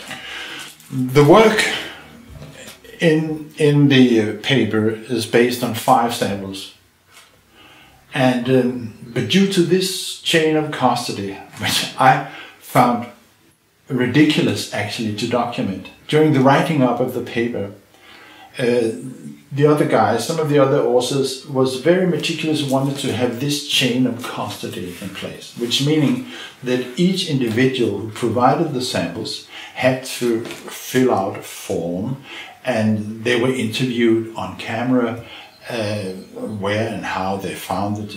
I think, why would should anybody uh, question the authenticity of the of the samples. I have published more than 60 papers. Never in my lifetime have I run into a situation like this where somebody eventually would accuse us of falsifying and spiking the, the samples. I just couldn't imagine. But the other guys uh, insisted on this. Now the fifth of these of these of these uh, uh, five samples, the fifth person did not want it to uh, uh, to stand up publicly and sign these forms. So all results from this fifth sample were pulled out of the final publication. So it's based on Four samples. four samples in the end, right? And where were those t- found? Yeah, you can see here. Have No, I don't want to. Sorry, you have to assume that you're talking to a wider audience. They can't. I'm not going to tell people to refer to. It's very easy because this is this is the south of Manhattan. Yeah. And you can see where the samples are found. Yeah, yeah. That's it. So they're all found in the south of Manhattan, around the site, Yeah. In various number of days or weeks afterwards. No, no. Actually, the the, the youngest one was, I think, uh, about 20 minutes uh, after the collapse of the North Tower. Actually, before the, the, the, the building seven, the third tower collapsed. And uh, the two next was the next day, and the fourth was uh, from Janette MacKinlay's apartment, and she came back to that apartment a week after the collapse. But she lived very close to the South Tower. which is important for the quality, you know, actually of, of the samples. And how did they scoop up the, the dust they found? They saved it in a plastic bag. It's all in the paper. I mean, you can just, and you don't have to be a scientist to read that. But it was done. You're, you're happy with the way it was collected. The, Well, yeah, yeah, of course. Otherwise, we wouldn't we wouldn't uh, consider the samples. We have had other samples which have been collected, we just say less with less scrutiny, and uh, we don't look at them. We, we take a look at them. They have to be collected and stored coolly and properly. Okay. So take me through briefly the research you did and your and the conclusions you made from it. Well, we're talking about the findings on some tiny chips, we call them chips. These are flakes. And we call them red grey chips because they're red on one side and they're grey on the other side. It's the red side which is interesting because uh, it shows all the signs of being a thermitic material. I'm sorry I have to use some technical terms here because this is inevitable and I also have to be correct. Now, thermite, would you let me explain what thermite is? Okay, it is actually an old discovery, It goes back to 1996. The German chemist Hans Goldschmidt, 1896. You mean? I'm sorry, I'm sorry, Start again. What what what is thermite? Well, thermite is, is an old uh, discovery. It goes back to 1896 when the German chemist called Hans Goldschmidt discovered that um, a mixture of very finely divided aluminum and finely divided iron oxide, which is rust, uh, when ignited, burns at 2500 degrees centigrade, which is very, very hot. Actually, it and it is roughly 1000 degrees above the melting point of iron, and molten iron is produced in the thermitic process. It's very useful, it can be used for welding, was patented in, 19, in 1898 and used in 1899 for welding tram rails in Essen in Germany. But it is but because the iron produced in the process is so overwhelmingly hot, it can always also be used to destruct other items, typically armor. So for that reason, the thermite reaction has been used for military purposes for a long, long time. Now, what we found... What did the military use it for exactly? well, like torpedoes and, and grenades. Actually, uh, not so long ago, there was a, a, a, an, an event in Korea where, according to the official story, a torpedo was, uh, the South Korean vessel was torpedoed by a North Korean vessel. And one of the, um, as I understand, one of the proofs for this have happened was that the South Korean in the wreckage had found aluminum oxide, which is the other product of the thermite reaction. So this is just one example. Um, but the findings uh, we have found is is a modern version of the same, basically the same chemical reaction. The thermite reaction is not a specific reaction. Actually, it's the whole it's a whole family of reactions. But um, in this case, this material that we have found is a modern high-tech version of which is exploiting the same chemical reaction. And most the, the most person pertinent and obvious discovery we found is that the chips are reactive. They still react. We also found something, some of them which have reacted partly, and where you can actually see the iron being produced in the process. And this is uh, complete. This is unambitious proof that these machines they're very very small. We're talking about millimeters and, and less. So you need a microscope actually to find them in the dust, and some experience and some skill to find them out. But uh, so so the research has been uh, difficult because the sample simple are so small. But there are techniques in electron microscopy where you can investigate this uh, and you can and you can monitor the reaction itself. What were the main techniques you used to look at those red, red chips? Well, first you have descriptive You're, de- you're describing the material, basically optical microscopy, electron microscopy, and the various techniques which are used there. And also, as I told you, that the, the, the most important observation is the reactivity. When you heat the chips up, they take off, they react. I will not call it an explosion, we do not know, but they react violently and show all the characteristics of a thermite reaction. And um, so, and this is done in an apparatus which, is called the differential scanning calorimeter. And um, beyond that, uh, what else uh, can I? I think this covers the whole family. Of And your and at the end of that, what was your conclusion about what those chips were? a, a scientific work, a scientific paper, is a set of data, a discussion of the data, and the best hypothesis you can come up with. And based on the data and the discussion, the hypothesis that we have come up with is that this is unreacted uh, thermitic material, and it has not been challenged. The basic, the basic conclusion has not been challenged over the last two years since it came out. I mean, uh, you gave an explanation of what thermite is. People question. uh, They, thermite is, a, is an incendiary, isn't it? Not an explosive. That's that's correct. Yeah, and you have to distinguish between explosives and incendiaries.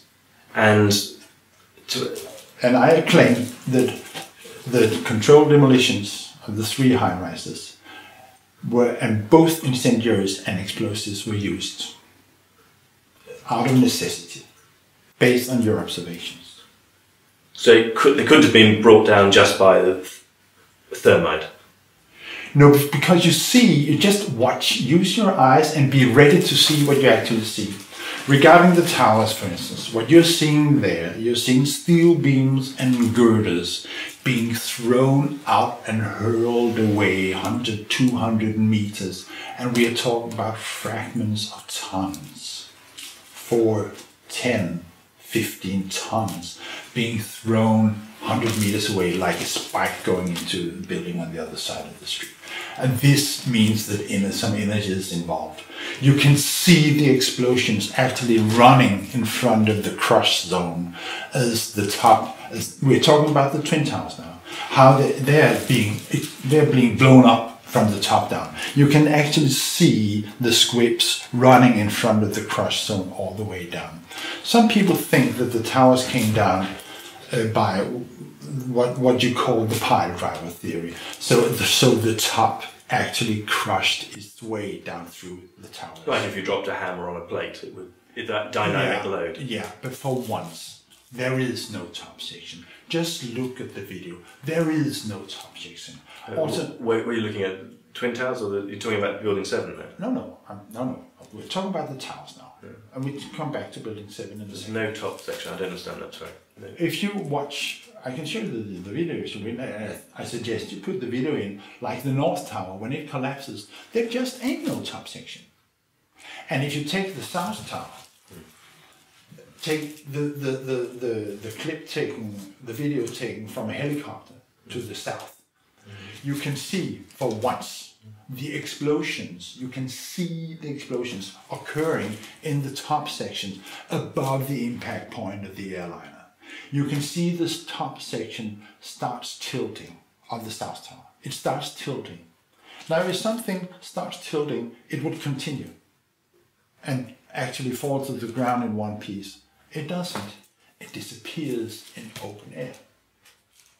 There is there ain't no, and this is only observations. If you make calculations on the energy, the energy for the pile driver theory just isn't there.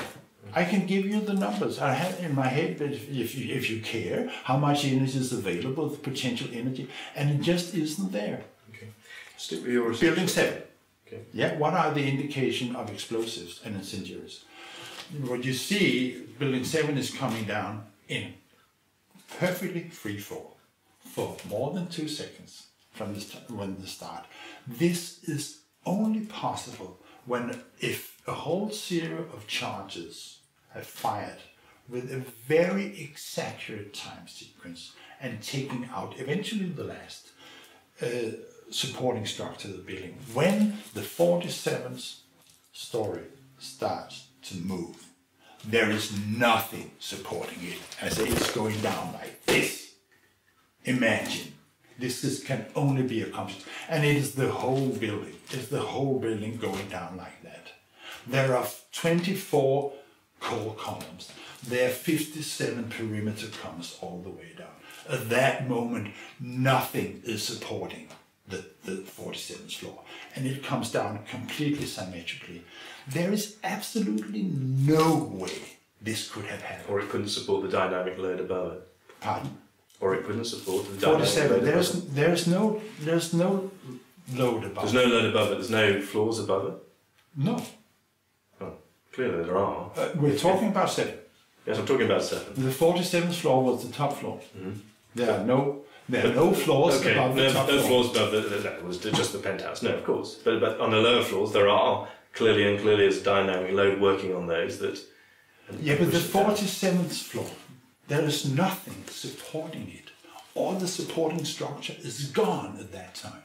There is no way you, You see an internal collapse at the top where the pentagons, uh, when the when the sorry, when the you see an internal collapse at the top where the penthouse starts to move down and there's an in, internal so crack, and you see it, you see that you see a crack with it, and it goes down Yes. from inside. Yes, I'm not claiming that the whole structure. So the structure No, no. could have been weakened, and it, and it could just be collapsed. Of course. Of course.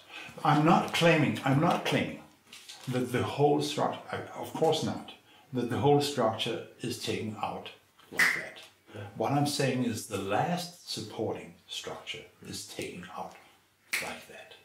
I'm saying that at the moment, uh, the seismic track is 18 seconds long.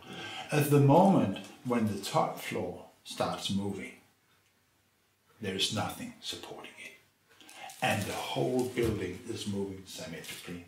It's going all the way down, and Building 7 was not hit by an airliner. Now, come on. Okay. Yeah, I want to I want to go back to your research in a sec, but let me just think as you've raised that question, I want to sort of carry on with that. I mean, um, do you know of any controlled demolition that's ever been where someone's used thermite No. as part of that? No, Is that surprising? no. Well, it could be. it's not. I'm a scientist. Listen, and and and uh, I'm reporting hard evidence. Why? And, and I'm asking honest. Uh, I'm answering your questions honestly. So I don't know. Why, why would you? Why would someone want to use thermite as well as as a conventional explosive? Wouldn't com- a conventional Ask explosive them. be enough? Ask. Go and ask them. You're an uh, investigative investigative reporter.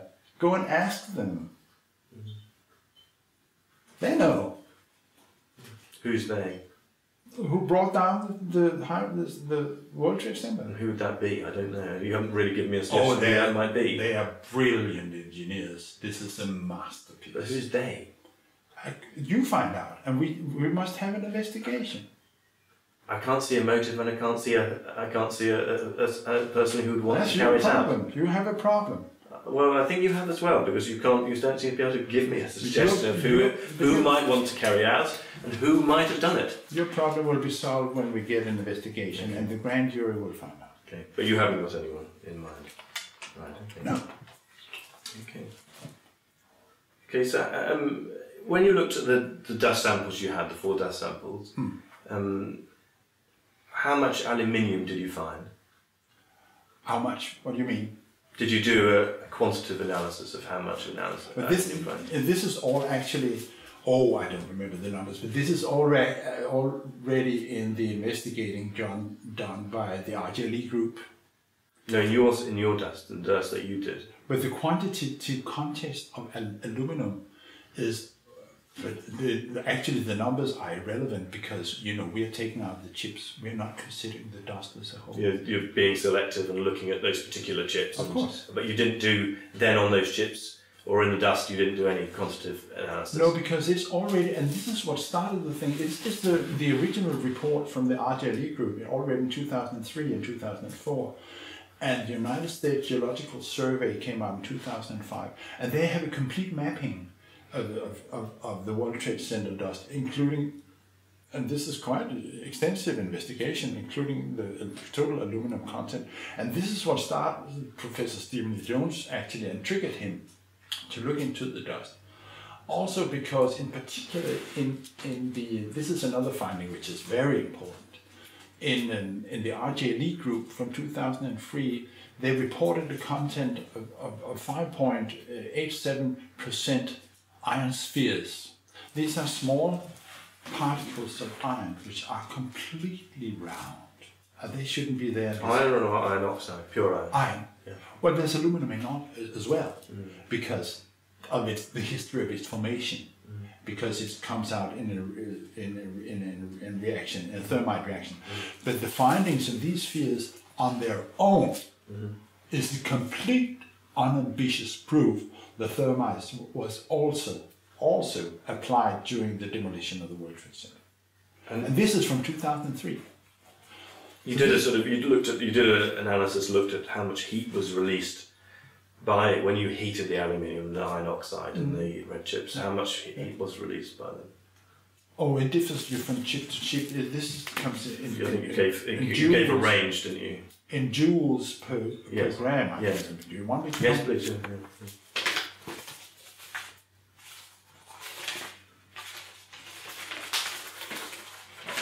Differs actually.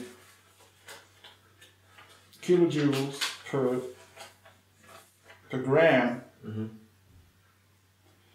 And uh, well, the best one comes out at eight kilojoules per gram as far as I see. Energy per one point five to seven point five. I thought Excuse me. one point five to seven point five. I thought was a range you had.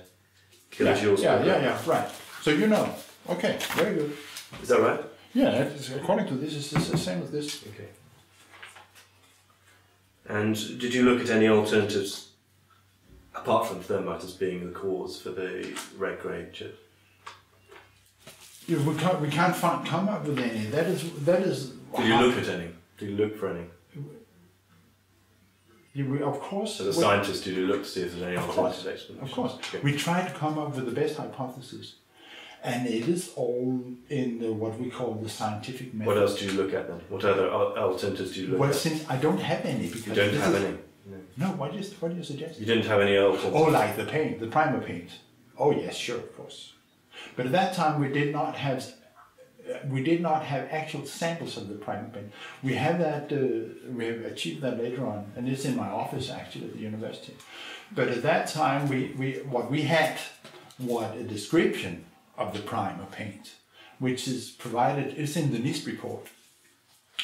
And, uh, and there's a whole chapter actually on the primer paint because you um, you can use the primer paint as as a, an indication of the thermal history of the steel beams, and it's very it's an, it's very interesting on its own because when you, you, the steel beams were covered by protective paint, and when you heat it up, it starts cracking. It's called mud cracking because it looks like cracked mud. And, and from the cracks, you can actually determine the temperature of the, the thermal history of the beam. And NIST did not find any steel beams from the core of, of the towers which has been exposed to beyond 250 degrees centigrade. in the, from the in the, uh, and it's in the twin towers you're talking about. Yes, yes. Yeah. Right. right. And it's the same number actually from seven. In spite of, you know, most of the steel was actually, you know, hurried away, which is forbidden to remove any evidence from a crime scene. But what the remains that NIST had for observation, none of them, according to the primer paint, had been beyond 250 degrees centigrade.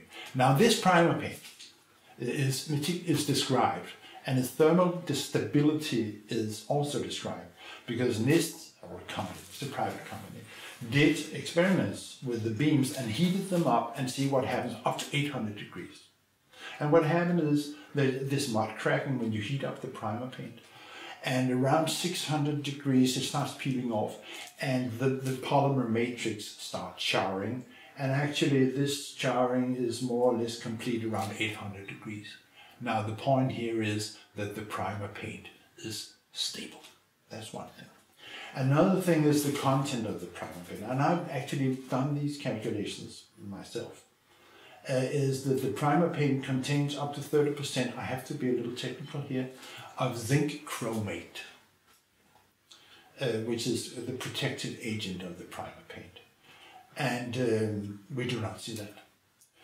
And later on, we have achieved actual samples. It's not so easy, but we have got some samples of the primer paint, and they behave completely as expected. I have made experiments with it myself. When, when you say the primer paint, you, you, you, you, you, you're basing on the, you've looked at one primer paint from the World Trade Center, is that right? What do you mean?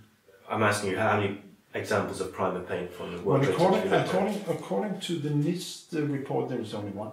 Right. I think there's only one used. And, uh, and the Trade samples that we have received uh, uh, matches the description. Mm-hmm. What, what more can I say? Your paper, was it published in a leading journal and peer reviewed? No, it was published in what we call a, a, an open open journal. And peer reviewed in that? Oh yeah. Okay. And what was been the reaction by other scientists? Have you been challenged Ah. at all? Zero. No, uh, challenge. No, not really on the. Um, uh, your some challenge on the mythology. Uh, people have asked, why haven't you done this? Why haven't you done that?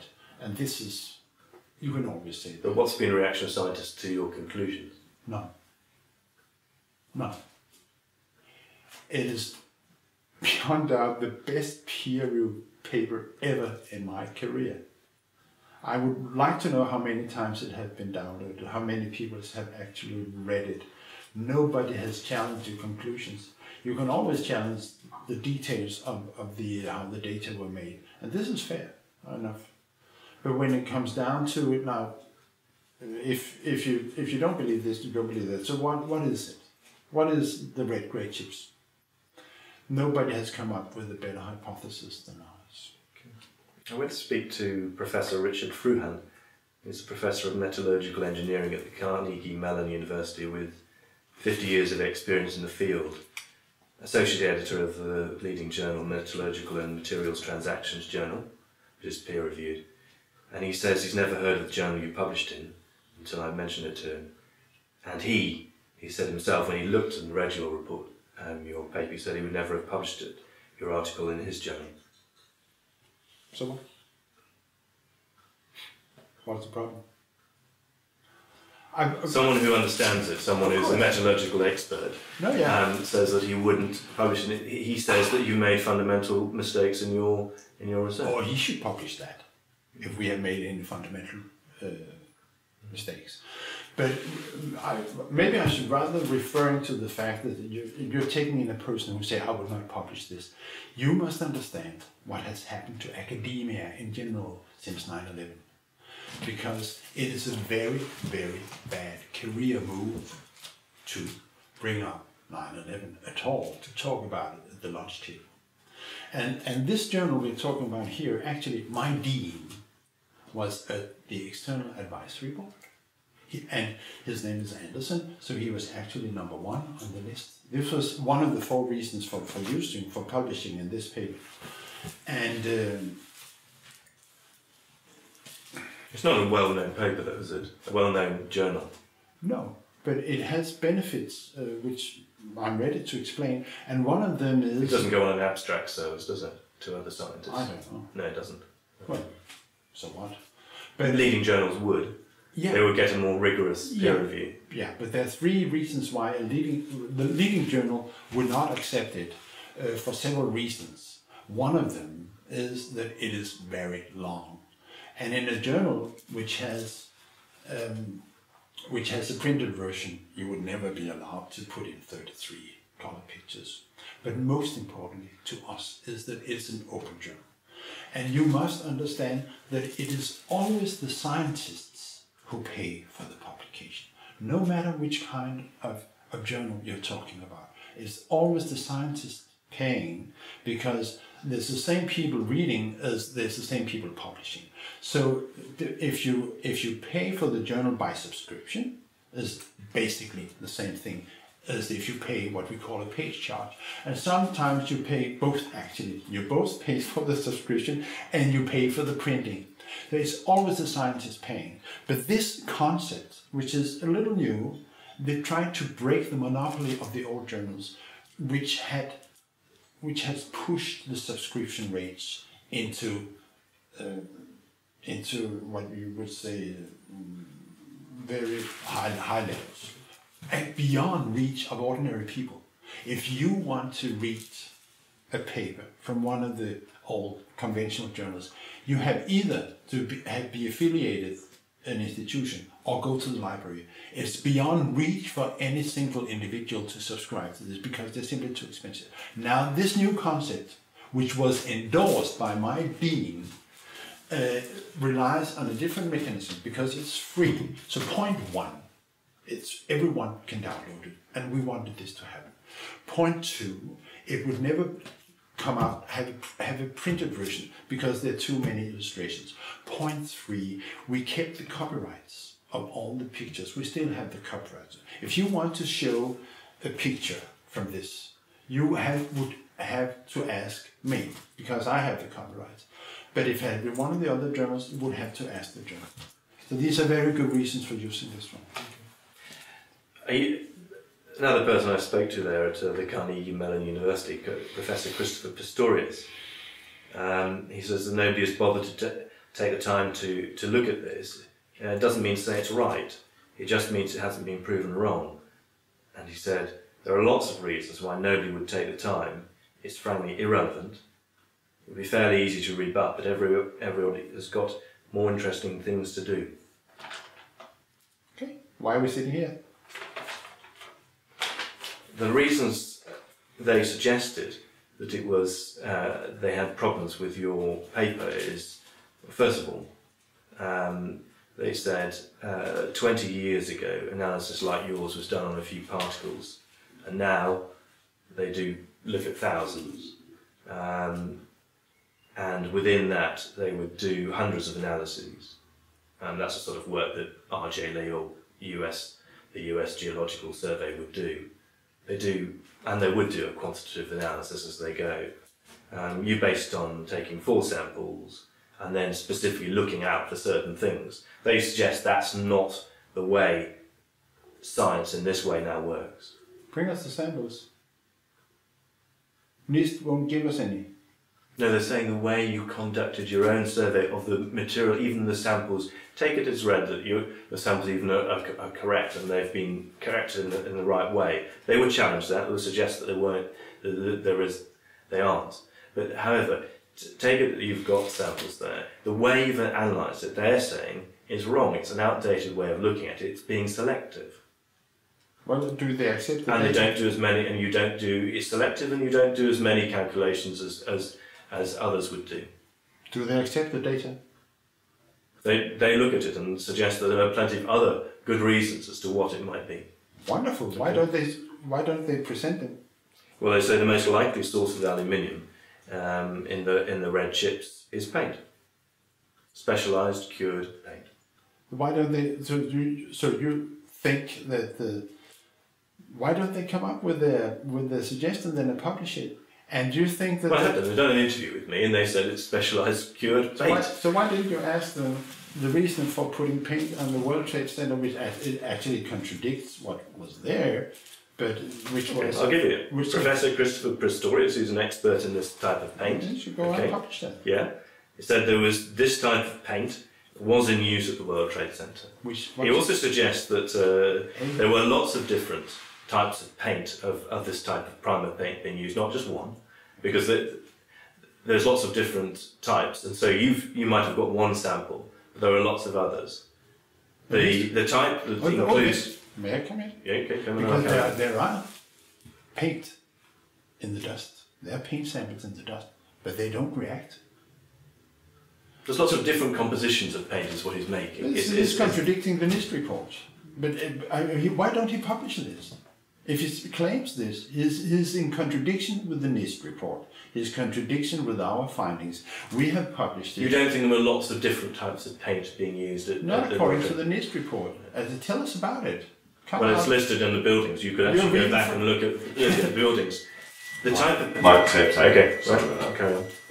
I mean, I didn't quite. I don't think you've quite answered this question. Uh, uh, uh, which just ask you again is, is what they were saying is that rather than taking a few few particles and doing analysis on that, they suggested that the modern technique is to take do much larger quantitative analysis and do many more many more samples um, and many more analysis within those samples. Yeah. Weren't you being selective? Part, Weren't you being selective? yeah, we are selecting the red grey chips from the dust, of course. Trying to find something out rather than being objective. Uh, what should we You had a conclusion in mind when you, did it. Yeah. Please, a scientific work and scientific paper is a set of data and a discussion and the best hypothesis of the day. And that's what it is. That's what they suggested. And if they're asking for more, and Professor Fruehan, let me give you what Professor Fruehan said Yeah. to me. He said, if you showed me a pile of dust, I could find almost anything in there, but maybe not in a large quantity. You should do more of a quantitative analysis when you look at essentially a thousand such particles and analyze those with XRD to get a true analysis of what the material is. You could always find something in a pile of dust, and that proves your point. But it would be extremely small, and could be a lot of other explanations for it as well. You saying being well, why don't you present the other explanations? Mm-hmm. And publish it, please. I mean, you're you're reading for a piece of paper. It really doesn't count. The only thing which counts in science are, are published data. Contrary views don't count. But he has to stand up. What is missing, basically, or generally, in all this whole discussion about the science thing and the demolition of the towers, is a discussion in a, in a, a gathering, in a room of peers. And I have tried repeatedly here locally in Denmark, under technical university, to ask for a symposium or a hearing, whatever you call it, where actually people can discuss this in plenum, in a group where the But here's someone giving you a specific explanation and just and, and challenging what the methods you've used and the conclusions you've Yeah. reached, and you dismiss it for another reason. No, no, no. because this time, you know, I like you dismiss the witness at the, at the Pentagon or a witness at the World Trade Center. This one's dismissed because he doesn't because he, he hasn't published it. I shrug my shoulders because he's not saying anything. Basically, maybe we should point at that. He's not saying anything. He's asking for more. So what? I'm asking: Does he does he recognize the data? Does he accept the data? Did you ask him that question? You asked him, He looked through your paper in and did he accept the data? He, he looked through it and saw that there was an alternative explanation for it. So, and what was that? He, he, they suggest, the two of them suggest that it was specialised cured paint. The type of paint that's used, actually specified and used at the moment on the Manhattan Bridge. Did you know that? that? Please, why don't, doesn't he publish that? It's a primer coat used and specified by the New York Department of Transport. Did you know that? No, Widely used in New York. pardon? It's widely used in New York. Did you know that? So you have you suggest that you have a paint which actually reacts at 430 degrees and produces iron in the process? Is that what you're suggesting? That if you heat it, then it, it, it, it gives off, eventually it will give off some heat, yes. It, it means that if in a, in a fire, it would not be it would be very the quite opposite of fireproof. Why do, why do people use things like micaceous iron oxide with polymers and, and, and aluminium flake? Why do you think they use that? Does it have a purpose? Why, why do you think they use those aluminium flakes and micaceous iron oxide?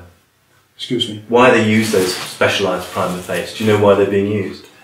No. Do you think they you don't know why they're being used? I think what you're suggesting is, is is the application of a paint which is a semi-explosive. It's being used by the New York Department of Transport at the moment. Okay. Why don't you? Why do you think they use it? Well, I- To prepare for future attacks in New York? Are you suggesting, or prepare for future. is that what you're suggesting? I mean, No, it's that's- being used at the moment on actual buildings at the moment. I'm not- It's the exact type of paint with aluminium in it. So what? What? But you don't seem to understand why why they use it. It's used for. I explain. I mean, it's used for. It is used for for, for its to stop corrosion. It's meant to. It's primer barrier to stop water getting into into to iron steelwork.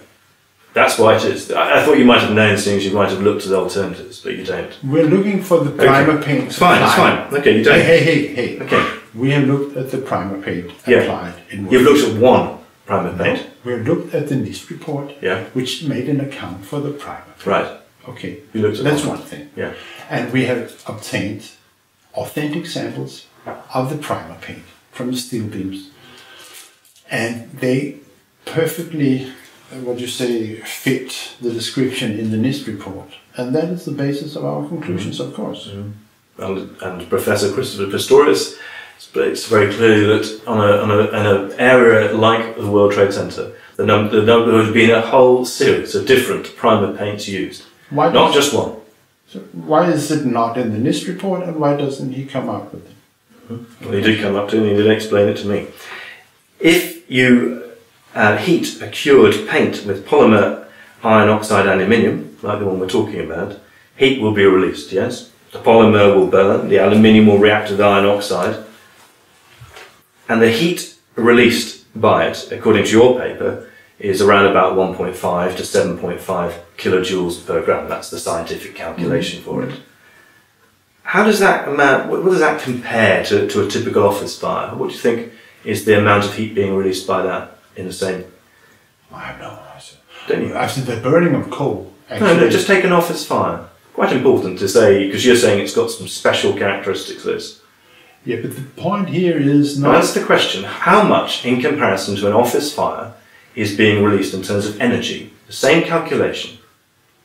I have, I, I don't know actually, but I, I probably you'll get more out of the office fire because when coal burns, Yes, it's twice coal- as much as the Yeah, most. So it's 15 Yeah. kilojoules per gram. Yeah. That's twice as much Yeah, as from your supposedly dangerous compound. No, no, you haven't understood. I've Because understood perfectly. And there's more energy being released out of an office fire sorry, than I there is out of this supposedly highly dangerous material. I have to then entertain you a little bit about basic chemistry. Because what you are referring to is the combustion of carbon, basically, furniture, trees, wood, okay, in air.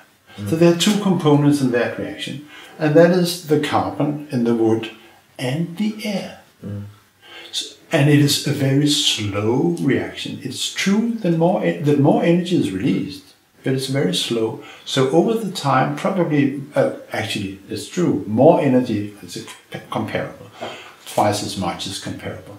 It is more energy is released when you burn carbon, but it's what we call a diffuse fire. It's burning from the surface. So you can never reach temperatures of 1538 degrees centigrade, which is the melting point of iron. Do you have, do you have a stove? Have you ever seen a stove? Have you ever seen it melt when you put in wood in the stove? Have you ever seen that? No, of course not. You cannot melt iron in ordinary office fire. You are at least eventually 1000 degrees below the melting point of iron. So come on. You are referring apples and oranges. It's an inconvenient fact for you. That Yeah, it produces more. I mean, in fact, NIST actually says that a typical the office station substation they looked at produces 17 to 20 kilojoules per gram. Yeah, but you would That's, never. that's, that's nearly three times as much Time as, is- as, as energy is being released by your supposedly highly energetic material. time is an issue. And the point is the temperature you reach within time. Mm. The thermite reaction brings its own reactants and it reacts very fast. So that's why you get a temperature of 2500 degrees centigrade. Now an office fire, if you, unless you blow in oxygen, you never get, you don't get beyond say 700 degrees centigrade. You are roughly eight to 900 degrees below the melting point of iron. So your point is irrelevant. Is their point? Your point is irrelevant. Yeah, but there are many irrelevant points in the NIST report. Well, they don't think it is. They're, they're, they're experts in metallurgy, world experts in metallurgy. They don't think it is ah. irrelevant. But I guess you'll dismiss them because Trust yourself. because they because they say something contrary to you.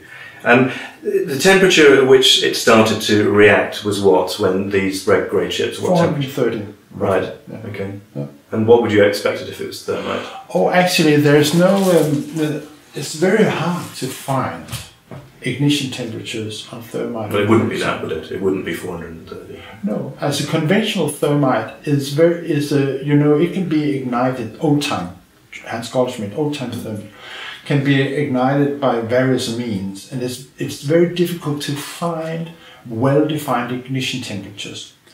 Uh, But it wouldn't be 430, would it? De- definitely not. It's much higher. Right. But the point here is what I believe, and we also said that the, the, the, the polymer matrix helps along for the relatively low, and actually it's burning.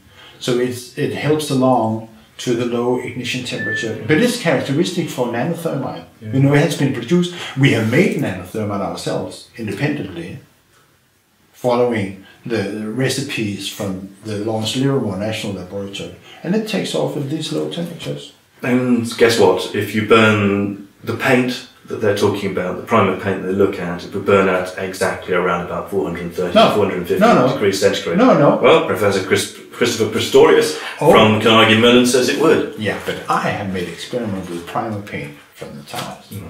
And I, You've made experiments on one. as a few, but, but I, but I have made experiments on the on authentic primer paint from the towers. I've heated it up, and I promise you, nothing happens until 800 degrees, and what you have left is black tar. Combustion. Okay.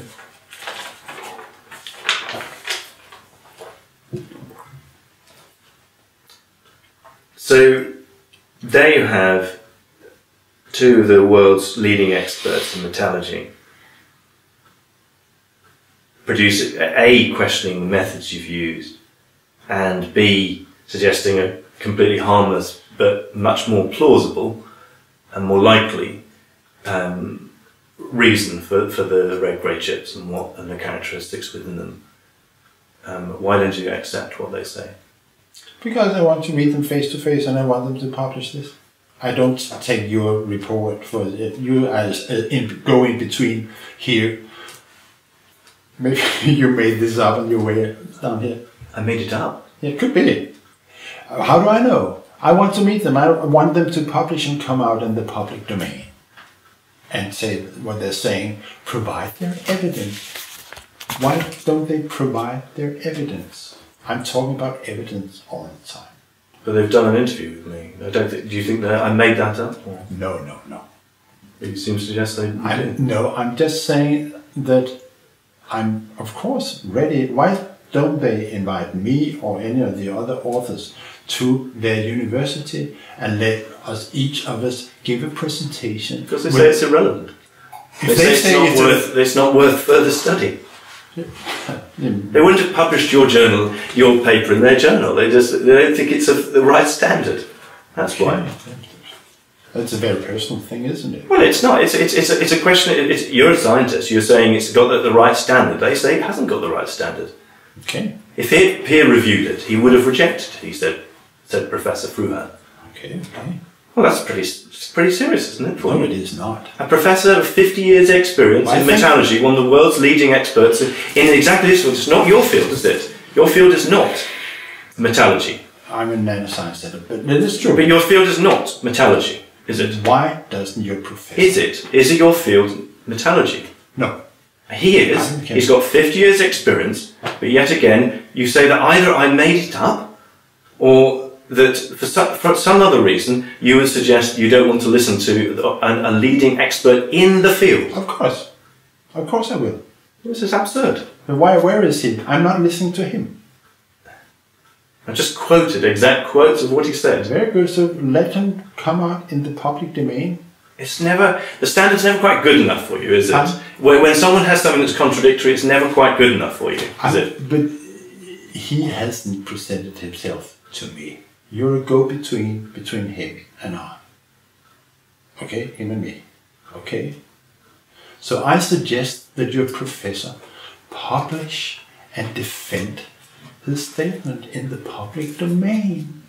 Why is Well, he has put it in the public domain. He's just done an interview with BBC, hasn't he? why is he Pretty clearly in the public domain, isn't it? why is he hiding? I don't think he's hiding anything. And he's saying that it is not worth uh, written, but Well, he wouldn't have published it. He just said, you know, I asked him a question, would you have published it in your journal? He said, no, I wouldn't. If I peer reviewed it, I would have rejected it. okay. Because it wasn't up to the correct standards of science. It's not how we do that sort of research now. It might have been 30 years ago. It isn't now, and he disagrees with your conclusion. He said you were being selective. Why I, I still suggest that he come up with his criticism following the standard rituals uh, or routes for doing that instead of and in, in, in, instead of actually giving it an, an interview as you claim with BBC again So you suggest it got a claim No, as an interview or what? please um, let me repeat Well, that's What- it's, you, you, you, you've decided to record the interview. I mean, you're saying things that I don't, I don't accept. I don't claim there's an interview. There was an interview. There was an interview, and I've given you exact quotes of what someone said. And And, yet again, you're not willing to accept what, what someone said. I haven't taken a position on that Right. Okay. I'm saying that what is needed here is a public hearing among peers. Because when you take in any single individual, and that goes for me too, in an interview, you can get any opinion you want out there. This has happened, it's true. This is something which has happened to academia, and I can explain to you why, because it's based on the funding system and the and the whole thing. But and They'd never heard of your paper. I asked them a question about it. They answered. I don't think it's any more complicated than that. They gave you a, a, an answer you didn't like, so you dismiss it. what is needed. Pretty simple to me. No. You don't like things that seem to contradict your point of view. No, I'm saying let's take the decision into into a peer for a forum of peers where we can discuss things, hmm.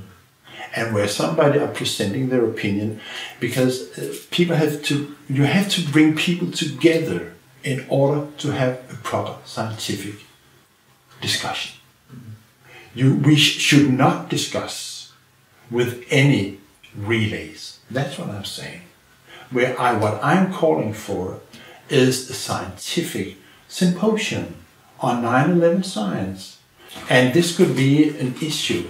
And I'm inv- I'm suggesting your professor to invite me or Professor Jones or Kevin Ryan or either one of us, pre- preferably together, at a symposium at his institute, and let's talk it over together with his colleagues.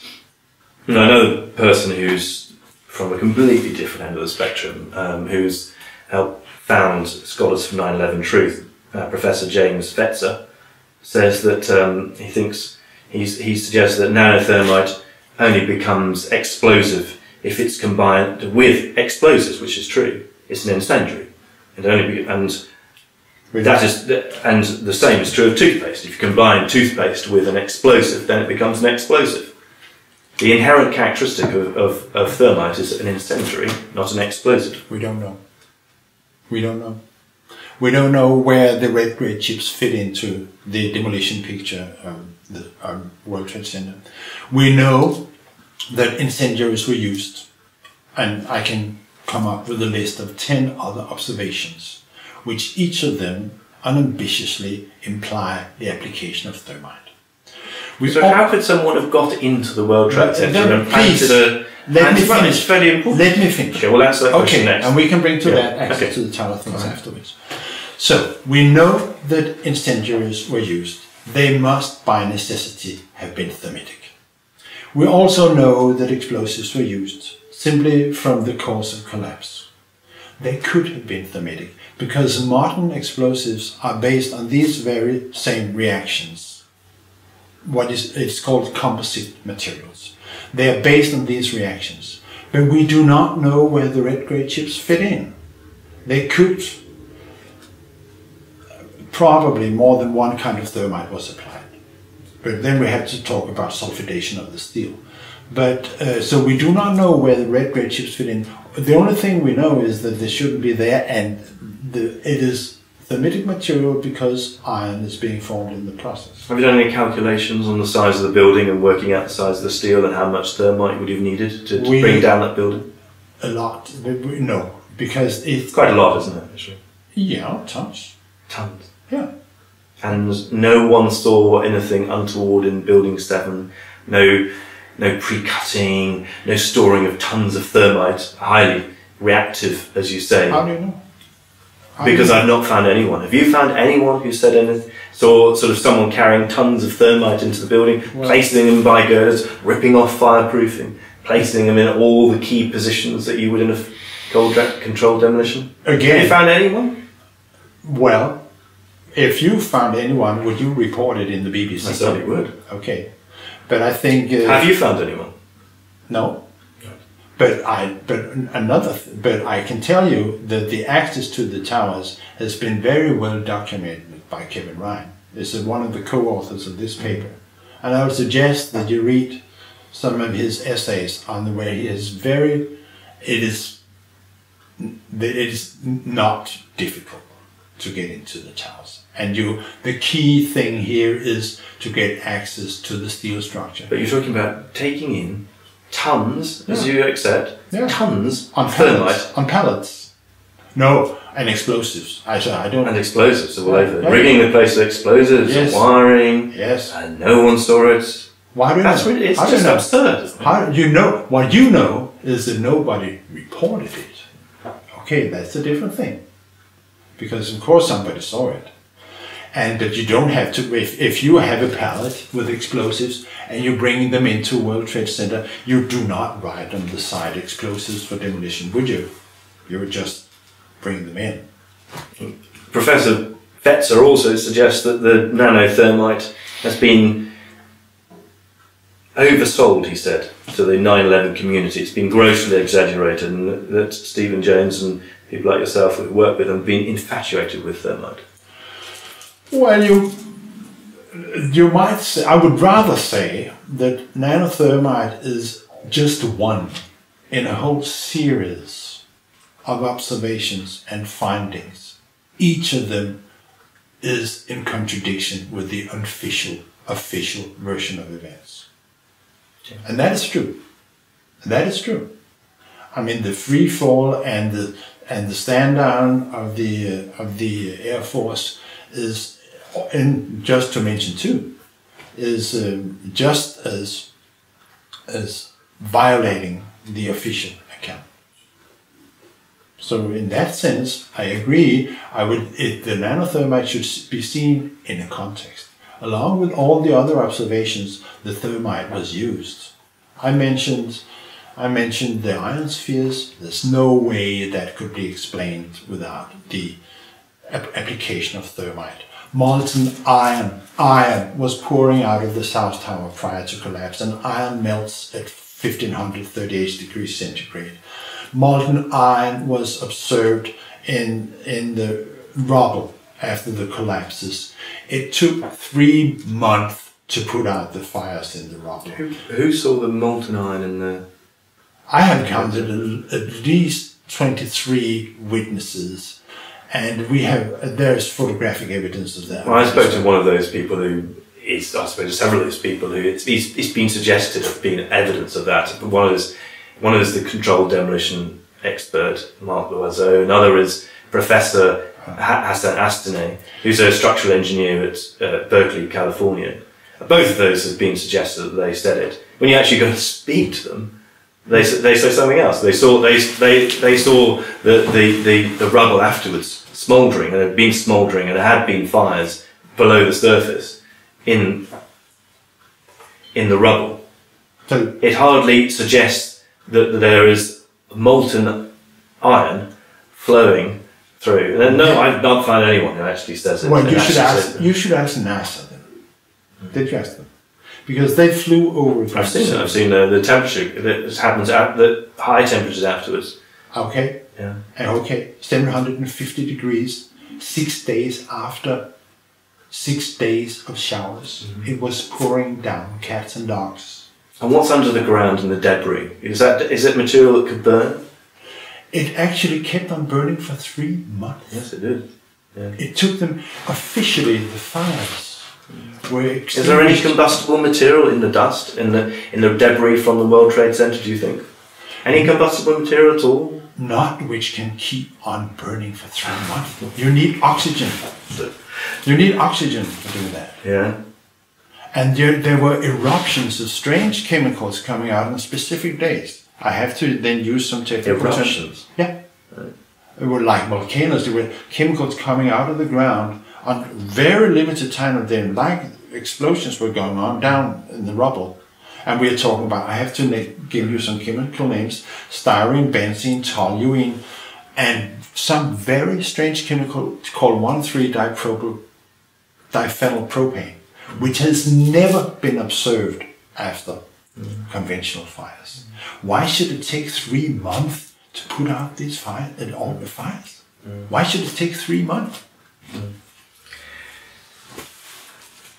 Something was happening in ground zero, which is beyond the official story. One, um, the FBI special agent I spoke to said she says the, the continued doubting of what happened is unfair to the families and friends and belittles those who lost their lives on 9 11 and obscures the real story of what happened. Don't think that the family and friends deserve to have a real investigation of what happened. She doesn't know.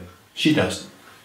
Don't you think that it would be fair to the family and friends to have an investigation Well, I'm asking what she says. She says she felt Yeah, but this is a very per- this is a very personal thing. it was personal to her. Somebody's I- who's gathered up body parts of people who have been killed there.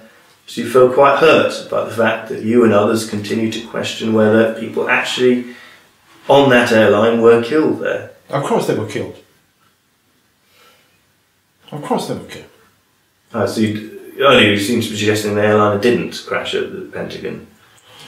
Of course, people were killed. Quite clear, but Of yeah. course, people were killed. that's right. And we are talking about that this crime was never investigated. And I, you may have your own opinion, but I think that we honor the, the these people who were murdered best by by carrying out a criminal investigation and persecuting the perpetrators. Do you think by doing what you do, you take a presumably what you're saying is is this is a gross crime? Do you think you're taking a personal risk yourself by by coming up with the, doing the work you're doing? I have no way back. You can, you, if you, if you fight, you might lose. But if you don't fight, you have lost. And you'll keep fighting. I have no way back. I have six grandchildren, and what is going on here, in my opinion, is our very civilization which is at stake. There is no way that our civilization can continue without facing these unsolved questions of 9 11. So I matter- think this is very serious. I'm talking about all the things you love. I'm talking about democracy. I'm talking about welfare. I'm talking about the elderly. I'm talking about the children. I'm talking about economy. I'm talking about environment. I'm talking about the very future of our Western society and our civilization. And I'm very concerned, and I think there is no way our children can expect a future like ours unless we face the unsolved questions of 9 11. Okay, cut. Cut. Do you have any children? I do. You Yeah. have children. Yes, I do. Yeah. That's why we're here today. It, I would always look to, to I'm desperately in search of the truth in everything, every story I ever do. And I ask any question. Thank you. Okay. Thank you very much.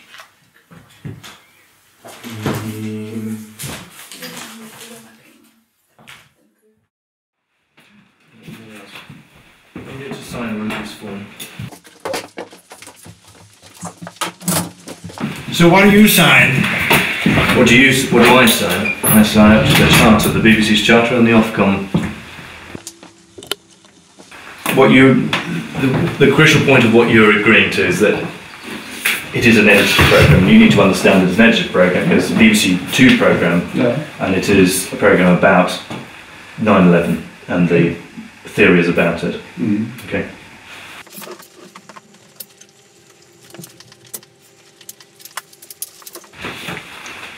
Or translate your constitution and you waive any moral rights you may have in them. We, we have you. The point is, we have the copyright in the in the interview because we, we broadcast it because we have to be able to broadcast it to. o- We give it to other people. It's, a, it's a program that's made by the BBC and is sold worldwide. It goes out worldwide. Yeah. But you have, So we have to have the copyright to be able to do that. That's what it says. You have your copyright of your own footage. That's what it's saying. Yes. And you don't have the copyright of our Well, I'm, footage. I'm not. I'm not taking that tape, am I? I'm using my tape. Yes. Okay. But maybe that should be specified. No, you don't need to specify. Well, you, you can you can add a note, but it's, it's clearly talking about our interview. No, it's talking about. And if you contribute, contribution is clearly the tape that I've got. Can't take your tape because you, you haven't given it to me, or you won't give it to me. It doesn't, and it's going to be exactly the same anyway. But if you want to make that point, it's perfectly fine because it won't make any difference at all. Because it's, Yeah, it's- clearly it's about talking about the interview you gave me hmm. on record. And to be clear, while you're filming us as well, I wouldn't talk about anything off the record, and wouldn't normally have people filming while I'm talking about things that are off the record. So that's absolutely clear again.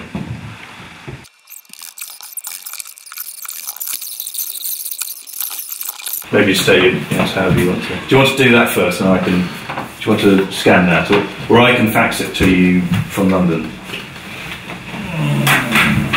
Or I can give you a copy of that as it is, and then I'll send you the. I'll fax you the site. I think I'll add the thing about your footage, your tape, but so your contributions.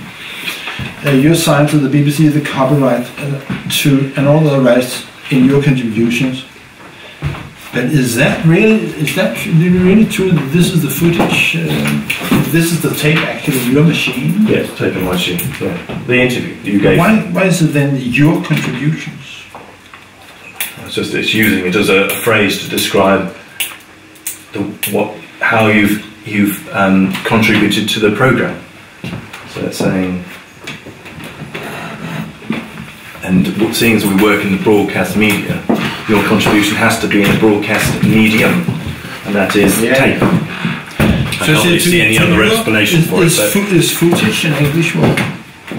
Or is it American? Can I write the copyright to your footage? recorded by the